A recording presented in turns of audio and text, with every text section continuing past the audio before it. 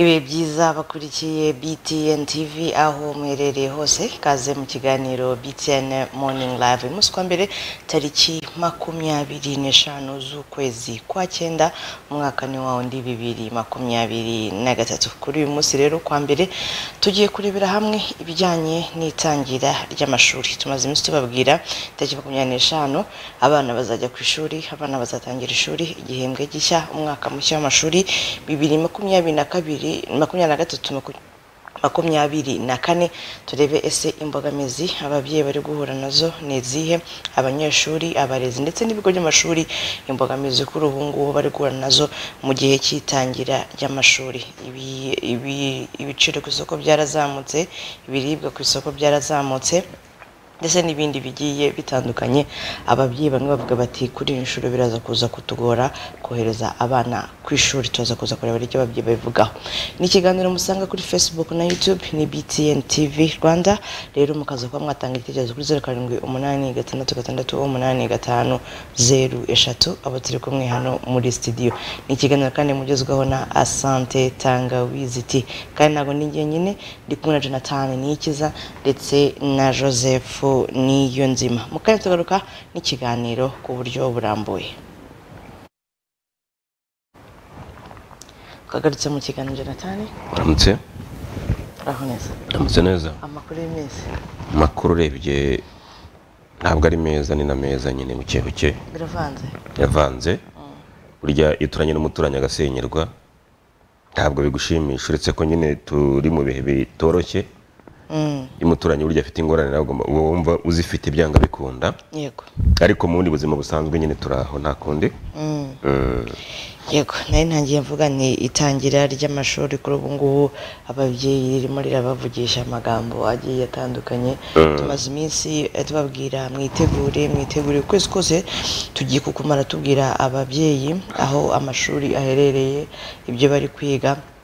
By'abana bakeneye kwiga ariko kuri ubu ngubu umunsi nyirizina wageze makumyabiri n'eshanu. Kuva ku itariki ya makumyabiri na rimwe hari kuwa kane cyumweru gishize abanyeshuri bakomeje kugenda bafata ingendo zibaganisha ku bigo by'amashuri.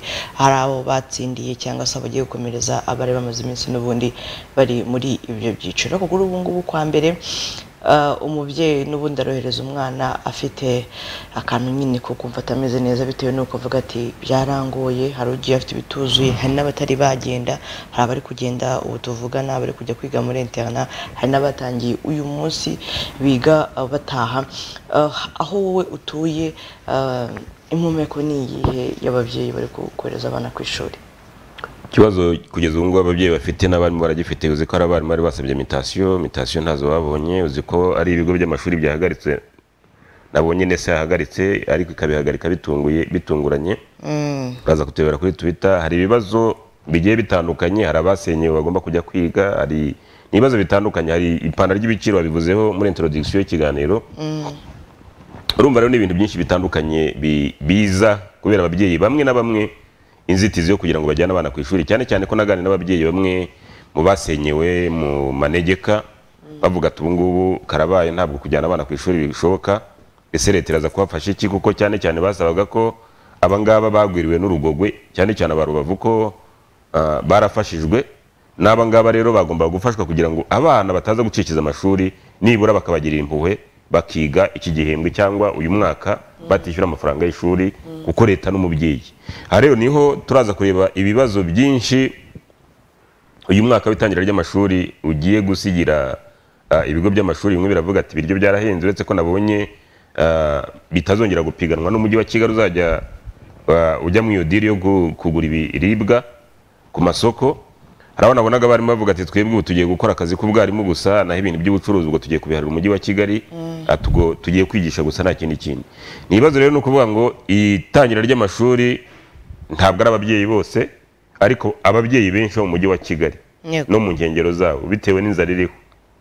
Batangiranye ibibazo by'amafaranga y'ishuri batangiranye ibibazo by'ibikoresho by'ishuri batangiranye ibiba- kuko hari n'ikigo numvise muri ntarabana muri rurinda ngira ngo bibye kompiyuta ah, bibye kompiyuta abanyeshuri bakoreshaga? eh, abanyeshuri bakoreshaga. Urumva rero ni urusobe rw'ibibazo bitandukanye aho ababyeyi bavuga ati ubu ngubu nta kigenda aho abana bavuga ati ubungubu tugiye kujya twibera ba mayibobo. Ukuvuga rero ngo ni ibibazo binakomeye cyane leta igomba gutunga itoroshi by'umwihariko akarere ka gasabo kakareberera iyi mirenge yashegeshwe n'ibiza yashegeshwe no gusenyerwa bakaza gufasha abanyeshuri kugira ngo bataza kugira uburyo bwo guta amashuri. Kuko leta tuvuga ko ari umubyeyi. Leta ubwo ngubwo ize gutunga itoroshi muri abantu basenyewe eh, tutaza kubura abana babura kujya ku ishuri se arajya ku ishuri ari hehe wenda leta ishobora kumufasha. Arabari ariko hari abamaze kwimuka bajya aha- ahahendutse. Mm, tunasaba ibi bigo byegereye ahantu hasenyewe abaturage gufasha aba- gufasha abanyeshuri bikaba nk'aho uri eh, turaza no kubaza akarere ka gasabo. Bikaza kubaho by'umwihariko. Yego. Umwana ntaze kujya gusiragira ngo abure ikigo cy'amashuri abure iki? Aba bantu basenyewe nasaba ikigo hafi hamwegereye agihabwe byanga bikunda kuko ababyeyi barahangayitse. Baravuga ati nishyuraga umwana wenda ishuri mu, ntara. Ntari buze gushobora kujyayo. Yego. Nishyuraga umwana wenda prive runaka. Ntari buze gushobora kujyayo. Ibi bigo byegereye ahangaha byorohereze nibura abanyeshuri ba za gisozi ba za kuko mbonye na hirya bagiye gusenya hano gatata. Yego. Baborohereze kugira ngo aba- abana bataza gutakaza ishuri kugira ngo bakomeze amashuri yabo. Ni ukuvuga ngo nimba hari abimuwe mu gihe runaka ariho abana babo bari bagiye kwiga ah, kuri uyu wa mbere bakaba bimuwe muri weekend cyangwa se mu kindi gihe cyari cyabanje mbega itangira ry'amashuri nabo bagiye kongera batangire nanone bashaka aho bajya kujyana abana kwiga. Ntekereza ko kuri uyu wa mbere hari abo biragora hariya basenyeye abaturage ku gisozi. Hari abo biri buze kugora kuko kugeza ubu ngubu hari n'abatari babona aho baba. Urumva rero ntabwo wabwira umwana ngo arajya ku ishuri mutari mwabona n'aho muba n'aho muhinge ku kurya Iyo ni sitarago. ntabyo wenda muvuga. Ubwo rero ntiwaza kubwira umwana ngo tujye kwiga muri gushakisha aho mujya guhengeka umusaya ni ukuvuga ngo ni ikibazo kinakomeye cyane Ah, leta iraza gushishoza uretse ko hari abo ubona bitareba. Eh, iyo burya umuturage aba abaye ngesi nyasinzira burya. Iyo ni ntuza ni karite yanjye. Ariko birababaje aho ubu ngubu abana bari gusaba amakayi bayabuze bari gushaka iniforume bazibuze bari gushaka. Aho bahengeye ku musaya kuko umujyi wa kigali yatanze ibihumbi mirongo itatu ku bapangayi. Abapangayi benshi nibo bishyura bi- bigaga muri aya mashuri yegereye ahangaha za gisozi za kariyeri za na ririya rya ntora. Ni ukuvuga ngo ni n'ikibazo gikomeye cyane minisiteri y'uburezi yagombye kubanza gutunga itoroshi cyane cyane muri gasabo cyane cyane gisozi na gatsata kuko nibo bafite ibibazo bikomeye cyane. N'ubu ngubu ntekereza ko gatsata hejuru usohotse hano ukajya hanze ukareba abaturage batangiye gukuraho amabati hejuru y'amazu yabo kugira ngo baze kuyaramura. Bari abatuye ku misozi hejuru hariya. Ni ukuvuga rero ngo leta akarere ka gasabo wenda abashinzwe uburezi babigire by'umwihariko. Kuko turaza kugira abana benshi baraza guta ishuri. Kuko nimba ababyeyi bavuga ati twebwe tugiye gusubira mu ntara umwana ntabwo akiza ahangaha. Nabwo boroherezwaho barasubira. Iwabo. Eh, nimba asubiye nyamasheke nimba asubiye kirehe nimba asubiye he? Bamworohereze mbega bibe nka- nkaho ari umwihariko kuri abo ngabo bimuye. Ahantu hashobora gushyira ubuzima bwabo mu kaga kuko urabonamo kugeza ubu ntibari baba tayari narinde hari abantu basenya ubona abantu ba- bihebye bari kunywa inzoga. Ya mafaranga babahaye ibihumbi mirongo itatu hari umugabo ngo wafashe ibihumbi makumyabiri eh, ahereza umugore aramubwira ati akira ibihumbi makumyabiri. Nanjye iri icumi ndarifashe ubwo ngubwo tuzahurira aho tuzahurira n'imana ihaza tifata makumyabiri wowe ufite abana yewe mfashe icumi ubwo ngubwo aho tuzahurira n'imana ihaza urumva rero abantu bamaze kuba desespere bamaze kwivanaho icyizere. Noneho niba umuntu yabaye desespere uraza kumubwira ngo ajyane umwana ku ishuri. Kuri wese icyo cyihutirwa. Si cyo cyihutirwa aho akeneye aho ahengeye ku musaya. Ahengeye ku musaya ntihahari. Ariko ubwo urumva itangira ry'amashuri ridatangiranye ibibazo ni ukuvuga ngo hari ikibazo cy'inzara. Ibiryo birahenze. Nabonye ikiro cy'ibijumba kigeze kuri magana atandatu. Eh, kuri detaye niba yageze kuri magana atandatu ahantu runaka. Eh, nabonye ku gisozi ariko ari magana atanu magana atandatu. Kivuye kuri magana atatu kivuye kuri magana ane urumva n'ibibazo bikomeye cyane. Ni ukuvuga ngo twaba tumenyereye ko ibiciro bipanda mu rwanda bigapandaho amafaranga wenda icumi makumyabiri mirongo itatu. None ibiciro birapanda mu rwanda. Hagazamuka amafaranga magana abiri. Nabonye na minisitiri w'ubucuruzi ngo abitsinze ari kuvuga ku kibazo cy'isukari yakiburiye igisubizo. Gikomeje kugorana. Gikomeje kugorana. Kuvuga ngo isukari niba yaravuye ku mafaranga icyani ikaba igeze kuri bibiri mu byumweru bibiri. Urumva uburyo ibiciro byo mu rwanda bipanda. Ese bipanda kubera iki?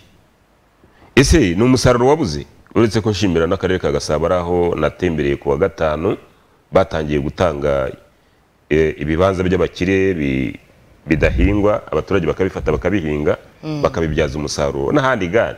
Ntibigende gutyo kuko umujyi ni uko abantu baba bariye. Eh, umujyi ni uko abantu bariye ntabwo umujyi ari uko abantu bi- bifunze umukanda ah, cyangwa badakora. Abaturage bagaragaza ko bakeneye gukora. Nimba kinyinya natembereye aho ngaho baratangiye gufata ibibanza by'abakire bari barashyizemo ibihuru bagatangira kubihinga n'ahandi ni ibi biniforume. Ibiniforume abantu babona ibyo kurya abantu noneho ba- baba abanyamujyi ariko bariye bahazi ni ukuvuga rero ngo abarimu bafite ibibazo ubwabo hari abasabye imitasiyo bazibuze. Nacyo ni ikibazo burya kujya kwigisha bisaba kuba unezerewe. Hari uvuga ati aho ndi ni kure y'umuryango wanjye. Yego. Nifuzaga kuba hafi y'umuryango wanjye. Hari nk'abigisha wenda mu ntara tuvuge uri umunyakigali ariko wigisha rusizi wigisha rubavu hirya hirya akavuga ati njye nifuzaga kuba nagarurwa hino y'umuryango wanjye cyangwa se nkaba nakora n'ubundi aho umuryango wanjye utuye. Iyo rero umaze icyo gihe cyose waka iyo mitasiyo ntuyibone nari ndimo murasoma ahangaha ibigo wansabye n'undi mirongo itanu na bine kuri ubu ngubu byarahagaritswe kureba kubera ireme ry'uburezi. Tubaze kuza kureba niba mwarimu ahantu ari ari kwigisha yego ni byo agomba kuba arimo arakora ariko ahari ntago atekanye nk'uko wari ubivuze. Nimba adatekanye araza gutanga iyi serivisi simvuze ko wenda umwarimu utarahawe imitasiyo azigisha nabi ariko nimba hari ibibazo bituma azigisha nabi ratifa nabaye mwarimu nabaye diregiteri nabaye iki burya umwarimu udatekanye ntabwo ashobora kwigisha neza. Ni ukuvuga ngo hari Na- si inkuru inshingano zo kwigisha nabi kuko atari ahantu atekanye ariko ushobora gutuma atanga serivisi iri munsi y'iyo agombaga gutanga. Hari inkuru nabonye kuri uh, cya gitangazamakuru cyacu dusorera cya leta. Hari umuryango ni muri Gasabo um- w'umugore n'umugabo. Bose iyo amashuri atangiye bafunga imizigo inzu bakayisiga aho ngaho bakigenda ubwo ufite n'abana biga muri interina urumva. Niba umuntu ashobora gufata imizigo agafunga imizigo akagenda akajya gukora kandi noneho ntibakora hamwe n'umugore we. Ntabwo bagiye mu karere kamwe. Ntibagiye mu karere kamwe. Umwe araca iburyo undi agaca ibumoso. Eh, umwe araca ibumoso undi aca ibu- none se umuntu urumva azatanga ireme ry'uburezi ri- rigize? N'umuryango. noneho abarimu baravuga ati imyanya irahari. Kuki batayiduha iyo myanya? Ati hari imyanya mishyashya iri ku isoko. Bagombye kuyishyira ku isoko hakiri kare kugira ngo natwe tuzinjiremo aho ngaho. Tuvuga ati noneho harimo taransipara ariko imyanya irahari ubu ngubu ejo bundi bazayitanga abashyashya n'ubundi bakomeze basitaragoringe hari umupapa umwe tubana afite umugore ukora mu ntara sinzi ahantu akora tubana mu gipangu. Yego. Ariko bazagaruka umwaka uta- umwaka uga- urangiye. W'amashuri se? W'amashuri. Ngo mu gihembwe ni ukuvuga ngo umugabo ni we ujya gusura umugore akajya gusura umu- umugore n'umwana. Urumva? Ni ukuvuga rero ngo ibyo na byo ubwabyo bishobora gusenya urugo.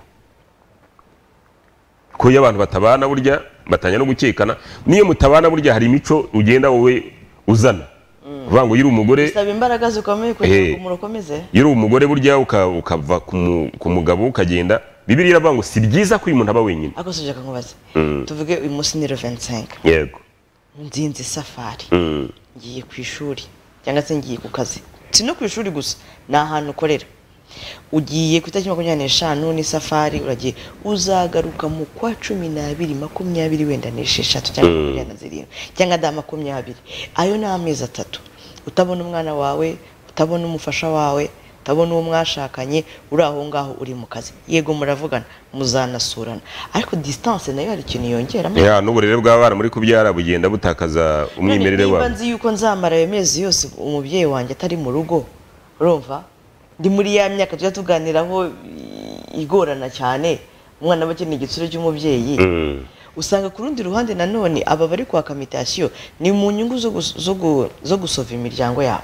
Ariko bagasova n'uburezi. Yego. Eh, kuko umwarimu wigisha atekanye atandukanye n'umwarimu wigisha adatekanye. Hari twe tukiga pirimeri ni bwo twakundaga wenda abana bakunda kubivuga cyane ariko na segonderi baravugaga ati uriya mwarimu agira amahane. Cyangwa se ah, bavuga ngo agira umushiha. Mm. noneho abakuru bakavuga bati ngo ah ngo buriya ngo ni ibibazo byo mu ngo zabo. Twe twari bato ntitwabyumvaga ariko uko ugenda uko urugendo ubibona. Hari umuntu utabasha gutandukanya amarangamutima yo mu rugo rwe Mhm. no mu kazi. Mm. wowe ujya ubimbwira tuganira kuri andi ati ngewe byanze bikunze ntugomba kumenya ikibazo cy'iwanjye ngo ukibone mu kazi. Uzakibona kuko nakikubwiye turi kukiganira kandi tuzakiganira kuri televiziyo. Iyo uganira n'abantu bakuru ugenda umenya uburyo utandukanya amarangamutima yawe yo ku kazi ndetse n'ayo mu rugo. Buriya ga hari imibereho ah, utagomba kumenya ya jifu cyangwa jonathan i- iri iri- iri prive. iri prive hari imibereho ushobora kumenya hano ku kazi ariko ari imibereho yanjye udashobora kumenya kuko ni imibereho yanjye nyine. Ntabwo ngiye kwimena inda. Wenda nshobora kuba na- narariye ibijumba n'ibi- n'ibishyimbo. Ariko ntiwabimenya. Umubiri wanjye urawuruzi gutya gusa wabonye nkeye ushobora no kuba na- naraye ntariye. Ushobora no kuba ntaraye mu rugo umugore yarankubise imi- imigeri myinshi. Ntabwo nkubwira ngo umugore yarankubise imigeri myinshi. ushobora kuba naraye muri salo ushobora kuba naraye mu modokari ushobora kuba naraye aho ngaho. Donko burya iyo watangiye gusanura babyita gusanura. Ibyo mu rugo iwawe. Ni wivuga ni ukumena amabanga y'urugo. Hari ibyo utagomba kumenya. Uvuga ngo niba nagiye kurara mu buraya ntabwo nshobora kuza nkubwire ngo naraye mu buraya kuko si ishema. Ntabwo ari ishema iryo ngiryo. Ahubwo ni ubupfayongo ibyiza wirata. si ibyiza wirata. Ni ukuvuga rero ngo ireme ry'uburezi rishobora gupfa mu buryo bumwe cyangwa ubundi. Ni turi kuganira ku itangira ry'amashuri. Ko njye nabaye mwarimu ibyo nkubwira ndabizi nabibayemo. Nubwo nabibayemo kera ariko uburezi ntibujya buhinduka. Eh, nta nubwo bujya buhinduka ahubwo. Uvuga ngo kugira ngo tubone abana bafite karite y'ubumenyi biraza guturuka mu mibereho y'abarimu. Tura- ni ukuvuga ngo mwarimu wamuhaye nka konvokasiyo kujya kwitaba kuri rib ntego ntabwo ashobora burya kwigisha neza. Eh, ntabwo atekana. Abatekereza ka kantu tekereza baza kumfunga sigiwe nini wa mugabo niba cyangwa se wa mugore niba yabigejeje kuri ribu byafashe Yeah. intera. Ahita ategereza nko mu ntambwe nk'igihumbi akavuga ati bingizeho ingaruka nkava muri ruriya rugo byagenda gute? Deja yamaze kuva muri mudu y'ishuri icyo gihe mwarimu yagombye kwi- a- arigisha ariko adatekanye. Araza kubona umuntu utambuka hariya wigendera ati uriya ni umuribu uje kumfata kwawe n'umwana mu ishuri Eh. atokora amakosa bisanzwe gusakuza kudakurikira ariko atangira kubyegereza umutima muri za mvugo z'ubu. Ngubu ukabona arimo ararakara cyane bitandukanye n'uko yarakoraga ni ukuvuga ngo hambere abarimu babaga batuye aho ngaho nkubwiye ko nigishijwe na nzimurinda kayitani mu wa mbere higishwa n'uwitwa kayitare jovite yarapfuye nyagasani. primaire? e primaire. Higishwa n'umuntu witwa bernard eh, nawe yarapfuye muri jenoside yakorewe abatutsi. Ariko abo ba- barimu barengaga wenda bernard yaturukaga ku mugera. Ah, kayitare yaturukaga sepasi nibuka yaturukaga ariko nta mwarimu warengaga segiteri eshatu cyangwa segiteri enye. Abarengaga segiteri enye baturukaga muri gisuma ni- ni- nigishwaga n'uwitwa mupenda yaturukaga muri gisuma na siriyake yaturukaga muri gisuma ariko gisuma ubwo ni, komini gafunzo na gisuma nyine ubwo biregeranye ni komine zegeranye. Uwo mwarimu waturukaga iyo ngiyo yarazaga nyine akaza gutura hafi y'ishuri. Kugira ngo atange ireme ry'uburezi ah, eh, rishyitse. Yego. Nge iwacu mu badivantiste hariya ku kigo cy'abadivantiste ya kamima adivantiste twagiraga amacumbi. Mwarimu akaba afite icumbi akaba yibera mu kigo aho ngaho akabana n'abandi barimu. oya ni mu kigo twabaga twese. Eh, noneho uwo mwarimu ntabwo ari buze kujya kuvuga ngo byamugoye nagira n'ikibazo twese turaza kubimenya. Uwataga numva ari umwarimu mwitwaga ezekiyasi n'abitwa ba nonsiyata bataga iwabo n'abitwa ba marijani bataga iwabo mu rugo ariko abarimu b'abasore babaga mu kigo babishaka. Eh, habaga hari amazu ndubundi hari amazu aba- abarimu bagomba kuba barayishyuraga oya ni amazu y'idini ni amazu y'itorero. Ikigo y'ikigo. Ni ukuvuga rero ngo kugira ngo umwarimu atange eh, uburezi nyabwo ni uko atekanye. Inzara niba iri kumurya ntabwo ashobora gutanga ireme ry'uburezi nyabwo. Nimba ari guhembwa umushahara ntica ndikize ntabwo ari buze gutanga ireme ry'uburezi nyaryo ni ukuvuga ngo birasaba ko umwarimu atekana. Yamara gutekana burya n'inka iyo idatekanye ntabwo ushobora kuyikama ngo ubone amata.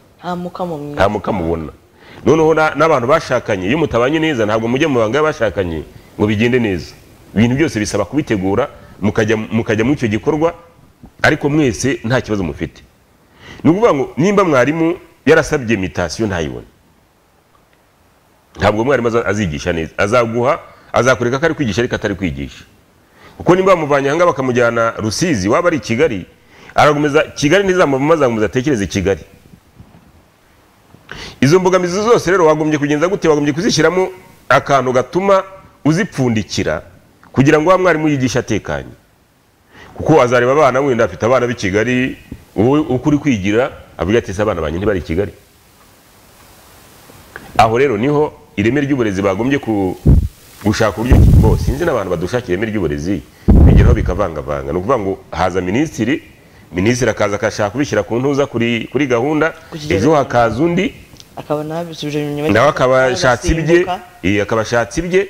Ibi bitabo bya bigishirizamo abana ejo umwe akagenda akagihindura undi akagenda akagihindura. Rero ugasanga ireme ry'uburezi mu rwanda ntabwo nta stabilite rifite. Ari na yo mpamvu ahangaha nabonye hari amashuri amwe n'amwe yahagaritswe kubera kudatanga ireme ry'uburezi Eh. kandi bari baraburiwe ibyo ni ibibazo na byo nesa yagombye kuba yarakemuye imbere kuko ntabwo yagomba kubikemura rome mu juru yuko ah, Ah, ningucira mu mayange ahangaha babwiwe mbere. Babwiwe mbere. Eh. none se babwiwe mbere? Noneho babwira ababyeyi ababyeyi ntibandikisha aho ibyo bigo? Ikosa riraza kugaruka ku kigo kuko nasomye ko ndaza gusomera nta kibazo. Ntabwo bahita babwira ngo ishuri rifunge. Mm. babaha igihe cy'umwaka Mhm. cyo kwikosora cyangwa se guko- gukosora amakosa babareze urumva rero ko wa mundi uri muri bizinesi ntajya kubwira papa jonathan ati umwana wawe mujyana ikigo bazagifunga cyangwa se batureze amakosa aya n'aya. Mm. ahubwo araceceka we akemerera abayobozi aba- abamukoreye igenzura ko azahindura. Ntahindure. Bagaruka basanga ntacyo yakoze bo aba bizi ko azahagarikwa cyangwa se azahabwa ibihano. Umwana aba victime n'umubyeyi. Ega ireme ry'uburezi rinagoranye cyane. Ngewe eh, jenoside ikirangira abantu banzi kamembe nakoze garidiyene eh, nkora n'ahantu nigishirizaga kuri diswari nimugoroba. Eh, abantu bazi muri matewusi hariya nahageze ishuri rwose ryiza rifite na pipitire ndisabira ibyangombwa ndisabira matewusi y'ikamembe mbo ndisabira na mfite n'ibaruwa inyemerera garidiyene nanahawe na inspecteur d'arrondissement Charles akiri inspecteur. Ah, buriya ireme ry'uburezi ni ikintu gikomeye cyane. Bigusaba kwiyambura bizinesi aho ugashaka ireme ry'uburezi. Ubumuntu. Kuvuga ngo ah, mama runaka azana amafaranga kugira ngo yigishe umwana we ukumva ko bihagije gusa wowe ko wamaze kuganya minerivare.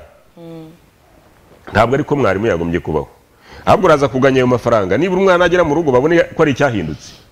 Babone ko yanyundo y'umucuzi ari we mwarimu yatangiye gucura umuntu muzima. Ariko ngewe uyu munsi baraza kunzana amafaranga kugira ngo nigishe kuri diswari ngira ngo nganye amafaranga gusa. Rya reme ry'uburezi ryo ni byo na nesa yakoze aho ngaho igende ivuga ati mwagomba gukosora ibi ngibi ni mu nyubako wenda ni mu ah, ni mu bitabo ni mu ki? Mwagomba gukosora ibi ngibi ni ukuvuga ngo kera inspeksiyo ni cyo yaberagaho ni ukuvuga ngo kera ntabwo umuntu apfa gushinga ishuri Ndi- ndibuka ko nashinze ishuri rya garidiyeni nkajya gusaba ibyangombwa muri eh, muri inspeksiyo darondisoma bakansinyira ko garidiyeni ngomba kuyi- kuyigira ku- kuyitunga. Ariko mwino minsi umuntu aritumbukiza ah, akagenda kubaka garidiyeni ahantu ni byiza kugira ngo bukipe b'abana ariko urimo urashaka indonke ntabwo ushaka indonke kurusha uburezi we abavuga ati byanze bikunze abana baziga ni nka resitora bazazamo baza- bazaza. Ariko ibyo ubaha ni ibiki. Eh. umvise ko ari umubyeyi utubwiye ati umwana yatangiye ishuri. Mm. Umwana nimba yatangiye ishuri ku munsi wa mbere we ari kumushakira ireme ry'uburezi ari kumwubakira ejo hazaza nk'umwana we. Ariko noneho hari abantu bafungura ibigo by'amashuri bagamije ya mafaranga y'aba bana bazaza noneho we ntarebe mu ireme ry'uburezi ntakunde uburezi ntakunde abana ntareberere igihugu mu byo bita long term cyangwa se mu gihe kirekire kiri imbere kizaza. Akavuga ati nishyiraho garidiyene nyu- nyuma y'imyaka ibiri nzafatanya na pirimeri nongere nongereho na segonderi tivet ubu ngubu zaraje we akajya abara amafaranga. Ariko akaba atari wa muntu wakubaka igipangu akaba atari wa muntu wahemba abakozi. Uzi impamvu ikintu cyishe ireme ry'uburezi? Hoya Ah, ireme ry'uburezi ryishwe nuko uburezi bwabaye nk'ubucuruzi nk'ibindi bindi byose nk'uko ducuruza nk'uko ducuruza ibigori nk'uko ducuruza niko byagenze. ndashaka inyungu hirya umuntu hari asigaye a- apanga ishuri yubaka ishuri ategura ku gukora bizinesi y'ishuri agamiye amafaranga. Nawe reba ikigo cyawe kirimo abanyeshuri igihumbi na magana atanu. Mm. niyo wabarira umuntu umwe ibihumbi makumyabiri kuri buri gihembwe. Tudashyizemo ayandi agiye atandukanye. Abo ni icyatanu. Uwo ni umwaka umwe. Uri muri bizinesi imyaka itandatu imyaka irindwi. Bitandukanye na mbere mwebwe mushinga ibigo by'amashuri ntawe tugiye kuvugiraho nabi ntabwo ari mwese ariko benshi barabikora. Niba ushobora kuba wafu- wafungura ikigo cy'amashuri kikamara imyaka ibiri bakagiteza cyamunara wize umushinga wawe neza? Bo warawize nabi n'igihe utekerezwaga bati nzabona abanyeshuri magana atatu magana ane Eh. none ntubabone kugira ngo rero tubibire ibanga kugira ngo ikigo cyawe gitere imbere. Kandi na yo ba- ya mafaranga ushaka uyabone ni uko ubanza kubaka ireme ry'uburezi. Mm, ikintu bashaka ababyeyi ni karite y'uburezi uri buze hari guha aba- ibigo Eh. urumva hari ibigo hano hano hano twebwe dufite. Urugero nka lisede ruhango sindi bugikure Yego. hari abubatse ireme ry'uburezi. Ni ukuvuga ngo nimba afite ibintu byose abana bashaka ababyeyi bifuza mu kigo nta munsi n'umwe azabura abanyeshuri. Ese ntiwagiyeyo ntiwabonye ukuntu hameze? Nagiyeyo na sina dufite ibigo tunamamaza aha ngaha ariko turagerayo Eh, ukabona hari ibikenewe. Eh, Eh. kangahe uranga ukavuga ati mumpe nimero zo kwa kana kanjyana umwana ku ishuri. Kwa hagiye hirya ntabwo bajyana abana ku ishuri. Yego. Uri kumva? Ni ukuvuga iki? Kwa sinaje ntabwo bajyana abana ku ishuri. Ni ukuvuga ngo abamenye ibanga ryo gushyira ryo gushinga bizinesi y'amashuri neza barabanje bubaka ireme uzi se ikibazo cyabayeho mu rwanda? Nk'umu- n'umukuru. nk'umuntu wa- wareze nk'umuntu wabaye mu nama y'uburezi ya perefegiture kuko na yo ibayemo nk'umuntu wabaye mu burezi kuva jenoside irangiye kugeza muri bibiri bibiri hari. Hari ibintu byagiye biza. Ni ukuvuga ngo urabona ko abantu bari bavuye eh, imihanda n'imihanda. Hari abavuye muri congo hari abavuye i bugande hari abari bavuye mu bihugu bitandukanye. Abantu batangira kwishingira utugo tuvuga ibyongereza. Tuvuga ibifaransa bitewe n'aho bavuye. Ibyo ubwabyo byishe ireme ry'uburezi ariko ntiwabarenganya bashagaho abana babo bakura ireme ry'uburezi. Uvuga ngo umwana akaba azi kuvuga igifaransa n'icyongereza ariko nta reme ry'uburezi afite. Nibyo nakubwiye ejo bundi ahangana nabikubwira ati burya kuvuga icyongereza kuvuga igifaransa nti- ntibijyanye. Eh, ha- hari ibindi bibanziriza ibyo? Eh, kuvuga icyongereza kuvuga igifaransa kumenya imibare hari ibindi bibanziriza ibyo ngibyo ari bwo burere Eh, umwe munyavuga ngo baruta ubuvuye eh, bijya bita uburere uvuga rero ngo iyo wowe uvuga igifaransa gushobora kukivuga uri indisipurine cyane. ushobora kukivuga nk'uko ufite n'uzi impano yo kukivuga ariko nta burere ufite. Muri wowe. Eh, hari n'umuntu ushobora kwigisha ibyongereza kugira aboneke ari umuhatari cyangwa ibifaransa ngo aboneke ari umuhatari ariko bamba. Ariko mu by'ukuri nta nta nta burere afite. Yego. Ni ukuvuga rero ngo ibyo byose byagiye byica ireme ry'uburezi kuko umuntu aravuga ati ngiye kujyana umwana wanjye aho bigisha Bigisha neza. binatuma abantu bavangavanga. Kugeza ubu umuntu arangiza segonderi akarangiza akarangiza kaminuza atazi kwandika ibaruwa isaba akazi. Twarabibonye. Eh, nkeka ko no mu uvuze ati mufate ikaramu mufate impapuro buri muntu yandike ibaruwa isaba akazi. Hari uwaza gukopera. Ndagusabye kandi iyo baruwa twayigaga mu wa gatanu segonderi mu wa kane segonderi. Eh, noneho n'ikibazo dufite kugeza ubu ngubu bamwe mu bantu batuyobora. Eh, hari umwana ningize twaturi kwa kangahera turi mu press conference mu mujyi wa kigali. Kuwa kane? Ku wa kane. Umwana umwe ni n'umunyamakuru yaravuze ati burya umuntu na- natazakwereka poromosiyo biganye. Bakubwira ngo niganye na runaka. Yego. Azaba yaraguze diporome Ni- ni- niyo ntuza niyo realite dufite uvuze ko hari abantu bagiye poromosiyo Abababa. bigageze abantu umuntu nakubwira ngo yiganye nande umuntu wiganye nawe muri segonderi ntamubone kuko niba ubwira ngo nzimurinda kayitana aranyigishije niganye na efuremu w'umucamanza niganye na niganye na twize ku kigo kimwe. Umuntu azaba yaraguze diporome ni ukuvuga ngo igihugu cyacu gifite ingorane zinakomeye. Aho udashobora kumenya ngo uyu muntu yavuye i bugande ese yarigaga koko? Yavuye muri zayire ese koko yarigaga? Yavuye i burundi ese yarigaga yaguze diporome hariya i bujumbura mu isoko. Yabaga muri zayire hariya yaguze diporome hariya i kadutu. Ni ikibazo u rwanda rufite nakomeye cyane niyo mpamvu n'ireme ry'uburezi rigenda ah, riyumbayumba riyumbayumba rimeze nk'irishaka kugwa kuko abaririmo ashobora kuba yaraguze diporome nimba yaraguze diporome iryo reme ry'uburezi arajya gutanga arajya gutanga iryo ngiryo nimba ari umunyamakuru ujya kuri mikoro ashobora kuba yaratuzi ngo yize i burayi bwa- bwahe yaragiye akajya kugura diporome i nyamugo hariya muri kongo hariya bukavu rero tukabona umuntu ni umuhatari Ha- hari abo dukeka hano hano mu- gihugu cyacu. Mubaze atari ku kaminuza wizeho ni iyihe? Agatangira akamirimira. Ngo niyize ngo onorayini sigiwe ni onorayini rero yacibi kwivuga nta cyangombwa cyafiteyo. Kuyivuga hari ikibazo? Urumva rero mu ireme ry'uburezi ah, turaza kureba kuri takaza n'abacamanza dufite. Tuzi ko koko reyeruma yizi ntabwo yagiye akagura diporome aho za burayi akaza tukabona n'umuhatari ariko mu mutwe ari tonovide. Ni ukuvuga ngo ireme ry'uburezi ubundi ribaho ah, abantu bamaze kurakara. Nka gutya narakaye bakajya mu ishuri barakaye bakigisha abana barakaye bakaza kubona umusaruro uturutse muri ba bana bigishije. Ariko uraza kumbwira umuntu ni mwarimu? Ese rero yarize ni mwarimu koko? Ni umunyamakuru ajya kuri mikoro hariya. Kuko ni umunyamakuru wabyize? Ese afite iyo afite iyo mpano burya ushobora kwiga uburezi ariko gutanga uburere bikakunanira. Ushobora kwiga ubwarimu nge nabaye diregiteri mfata abantu biga bigaga serayi kuko hari karansi y'abakozi. Ariko abantu bi- bi- bi- bigaga muri serayi bari barangije muri serayi barapafomingaga baratsindishije. Undi akaza avuga ati ngewe nize ngo nari ngiye kubavuga bari ku- bari kumvunira umuheto none ubu akaza yire ngende mwarimu wamuhamu wa mbere ukabona hamunaniye wamuhamu wa kabiri ukabona hamunaniye wese wize ibiki? Abana bose barasinzira Eh, wize ibiki? Wabona metodologi ari gukoresha wabona ibyo arimo ukavuga ati ese iyi? Hakaba n'abantu batize Eh. batize ibyo ngibyo byo kwigisha ariko bafite impano. Kuko kwigisha ni impano. Eh, ni kimwe n'itangazamakuru naryo ni impano. Ushobora kutaryiga ariko ufite impano. Yego.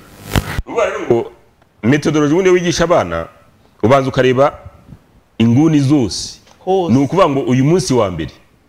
Hari pipitire sinzi nimba bakicara muri pipitire babiri hariya babiri hariya babiri hariya. Ubanza ukareba bagufi abarebare ah, ukabanza ugatangira bwa mbere.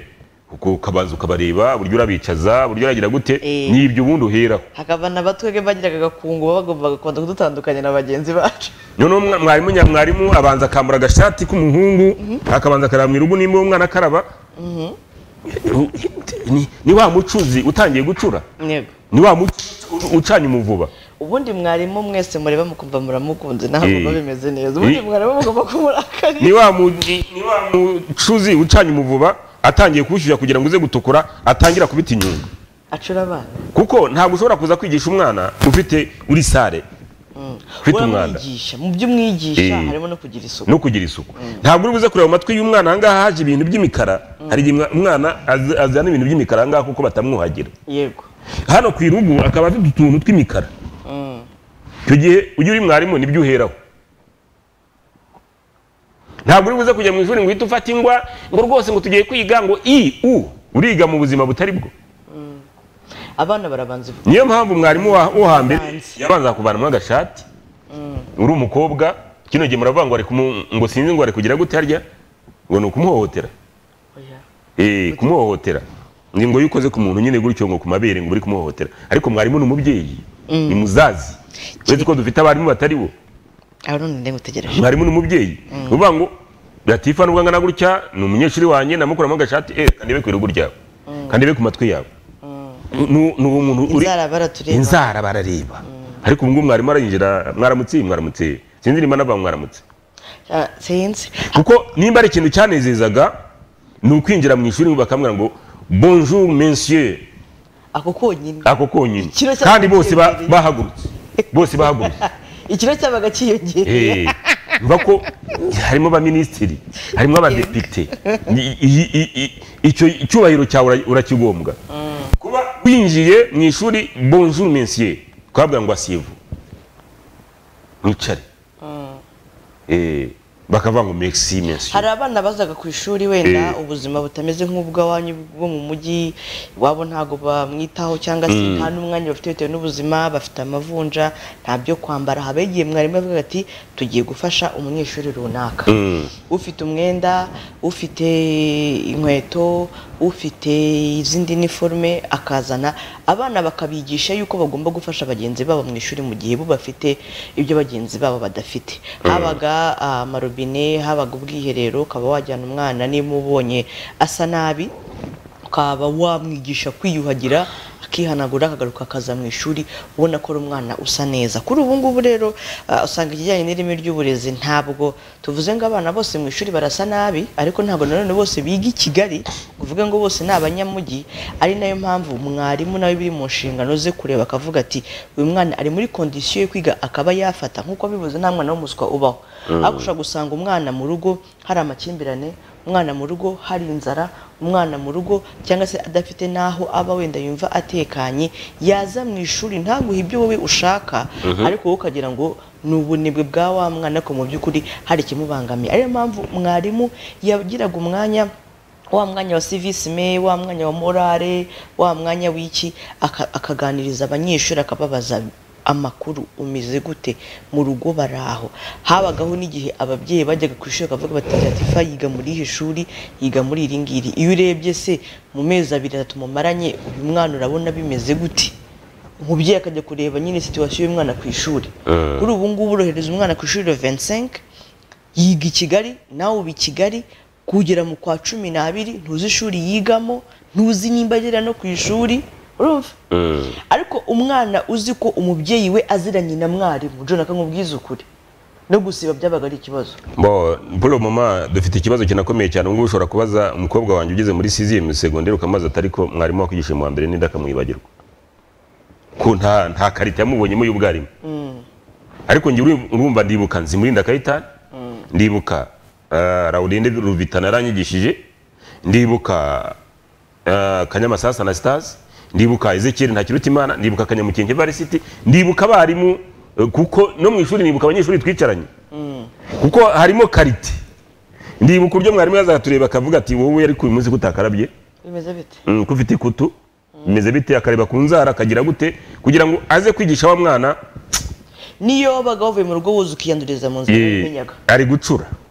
Arimo aracura. Kuvuga ngo rero ireme ry'uburezi rituruka ahantu henshi hatandukanye nubwo tujya twataka ababyeyi ariko na ba mwarimu nabo burya babigiramo uruhare. Yego. Reka dutumikire abadutumye hanyuma mukaza tuturebere hamwe ibi ibigo byahagaze. Byahagaze kubera iki? Ese bari babizi uko babimenye babikozeho iki?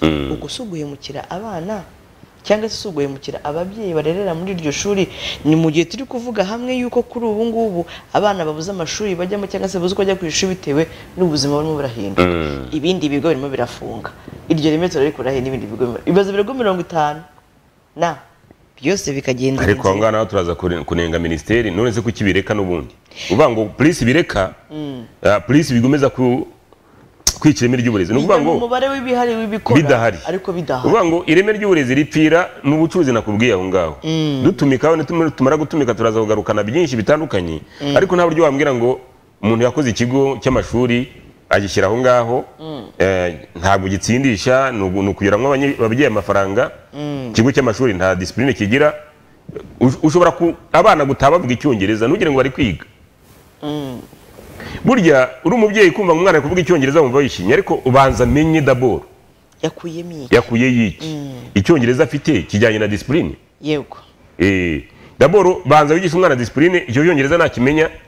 Nabyo nta hari kibazo umwana utajya mu mutwe wanjye witwa solange mutako n'umuganga. Solange mutako yari afite ise witwa bisamaza. Ariko uwo mwana buri gihe umubonye yambaye iyo mubonye umuntu yambaye kotoni yarubahaga afite disipurine n'uyu munsi nubwo ari umumama arubaha tunga ari abagabo imana igirira ubuntu bakarongora neza. Ye- yarakubona kumva afite ubumuntu noneho akagira bagenzi b'inama b'abakobwa. Akaba ari wa mwana mbega ubona w'intangarugero ko najya mubwira tuzaba umuganga. N'ubu ni umuganga. Urumva? Hari umwana uri mu ishuri kavuga ka- mana yanjye uyu mwana nyagasana azamufashe. N'ubu iyo duhuye atuye no ku gisozi. Ahita yifata nka bikira mariya. Mwarimu wanjye bitese ni byiza. Akabwira abana be ati dore sogokuru wanyu. Urumva? Urumva ibyo? Uko wareze umwana niko akura. Eh, niko akura. Hari abana nigisha yo muri site wabona ukabona nyine ni abakaramushi ariko edikasiyo ntayo. Ariko hari abana wigisha ukabona uh, uh, ukabona umwana ni ese nzamuvuga hiki? Byagenze uko wabishaka Eh, ni ukuvuga ngo- binarenga ibyo we washakaga naracuze maze gucura icyuma nacuze kigenda gutya. Urumva? Abantu bazi mutako sorange papa yitwaga bisamaza yarapfuye nyagasana yamuhamagaye ariko uwo mwana agiraga disipurine itagira abandi. N'uyu munsi n'uyu munsi ari umumama ubyaye abana bangahe? Afite disipurine iteye ubwoba. Uvuga rero ngo iyo uri mwarimu ntabwo wicara ugiye gutanga amatsiyeri gusa. Uranareba ukavuga ati uyu mucuzi reka ncure nerekeza. Uyu mucuzi unabaha n'icyizere yego. Kavuga ati ariko wowe mbona uzaba nk'umuganga ukabona bibaye kuko iyo uri mwarimu nyamwarimu eh, ko yanatambutse aha ngaha papi ni we wamubonye. Avuga ati wowe uzaba mwimbwa. Yatambutse ari kunsaba amafaranga. Ati nakubwiraga wabaye umusirikare barakwirukana kubera mugenda muvuga neza kubera ubwenda disipurine bwawe. Barakwirukana. Kandi nabonaga ubwenda disipurine n'ubundi. Ntabwo najyaga mbikubwira.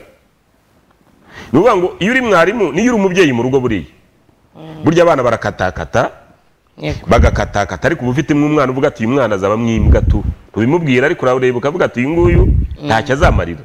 Ni ukugira ntange minerivare gusa ariko uyu ntacyo azamarira. Ariko hari undi mwana ureba ukavuga ati hari nka kiswa kanjye kampamagaye nimugoroba.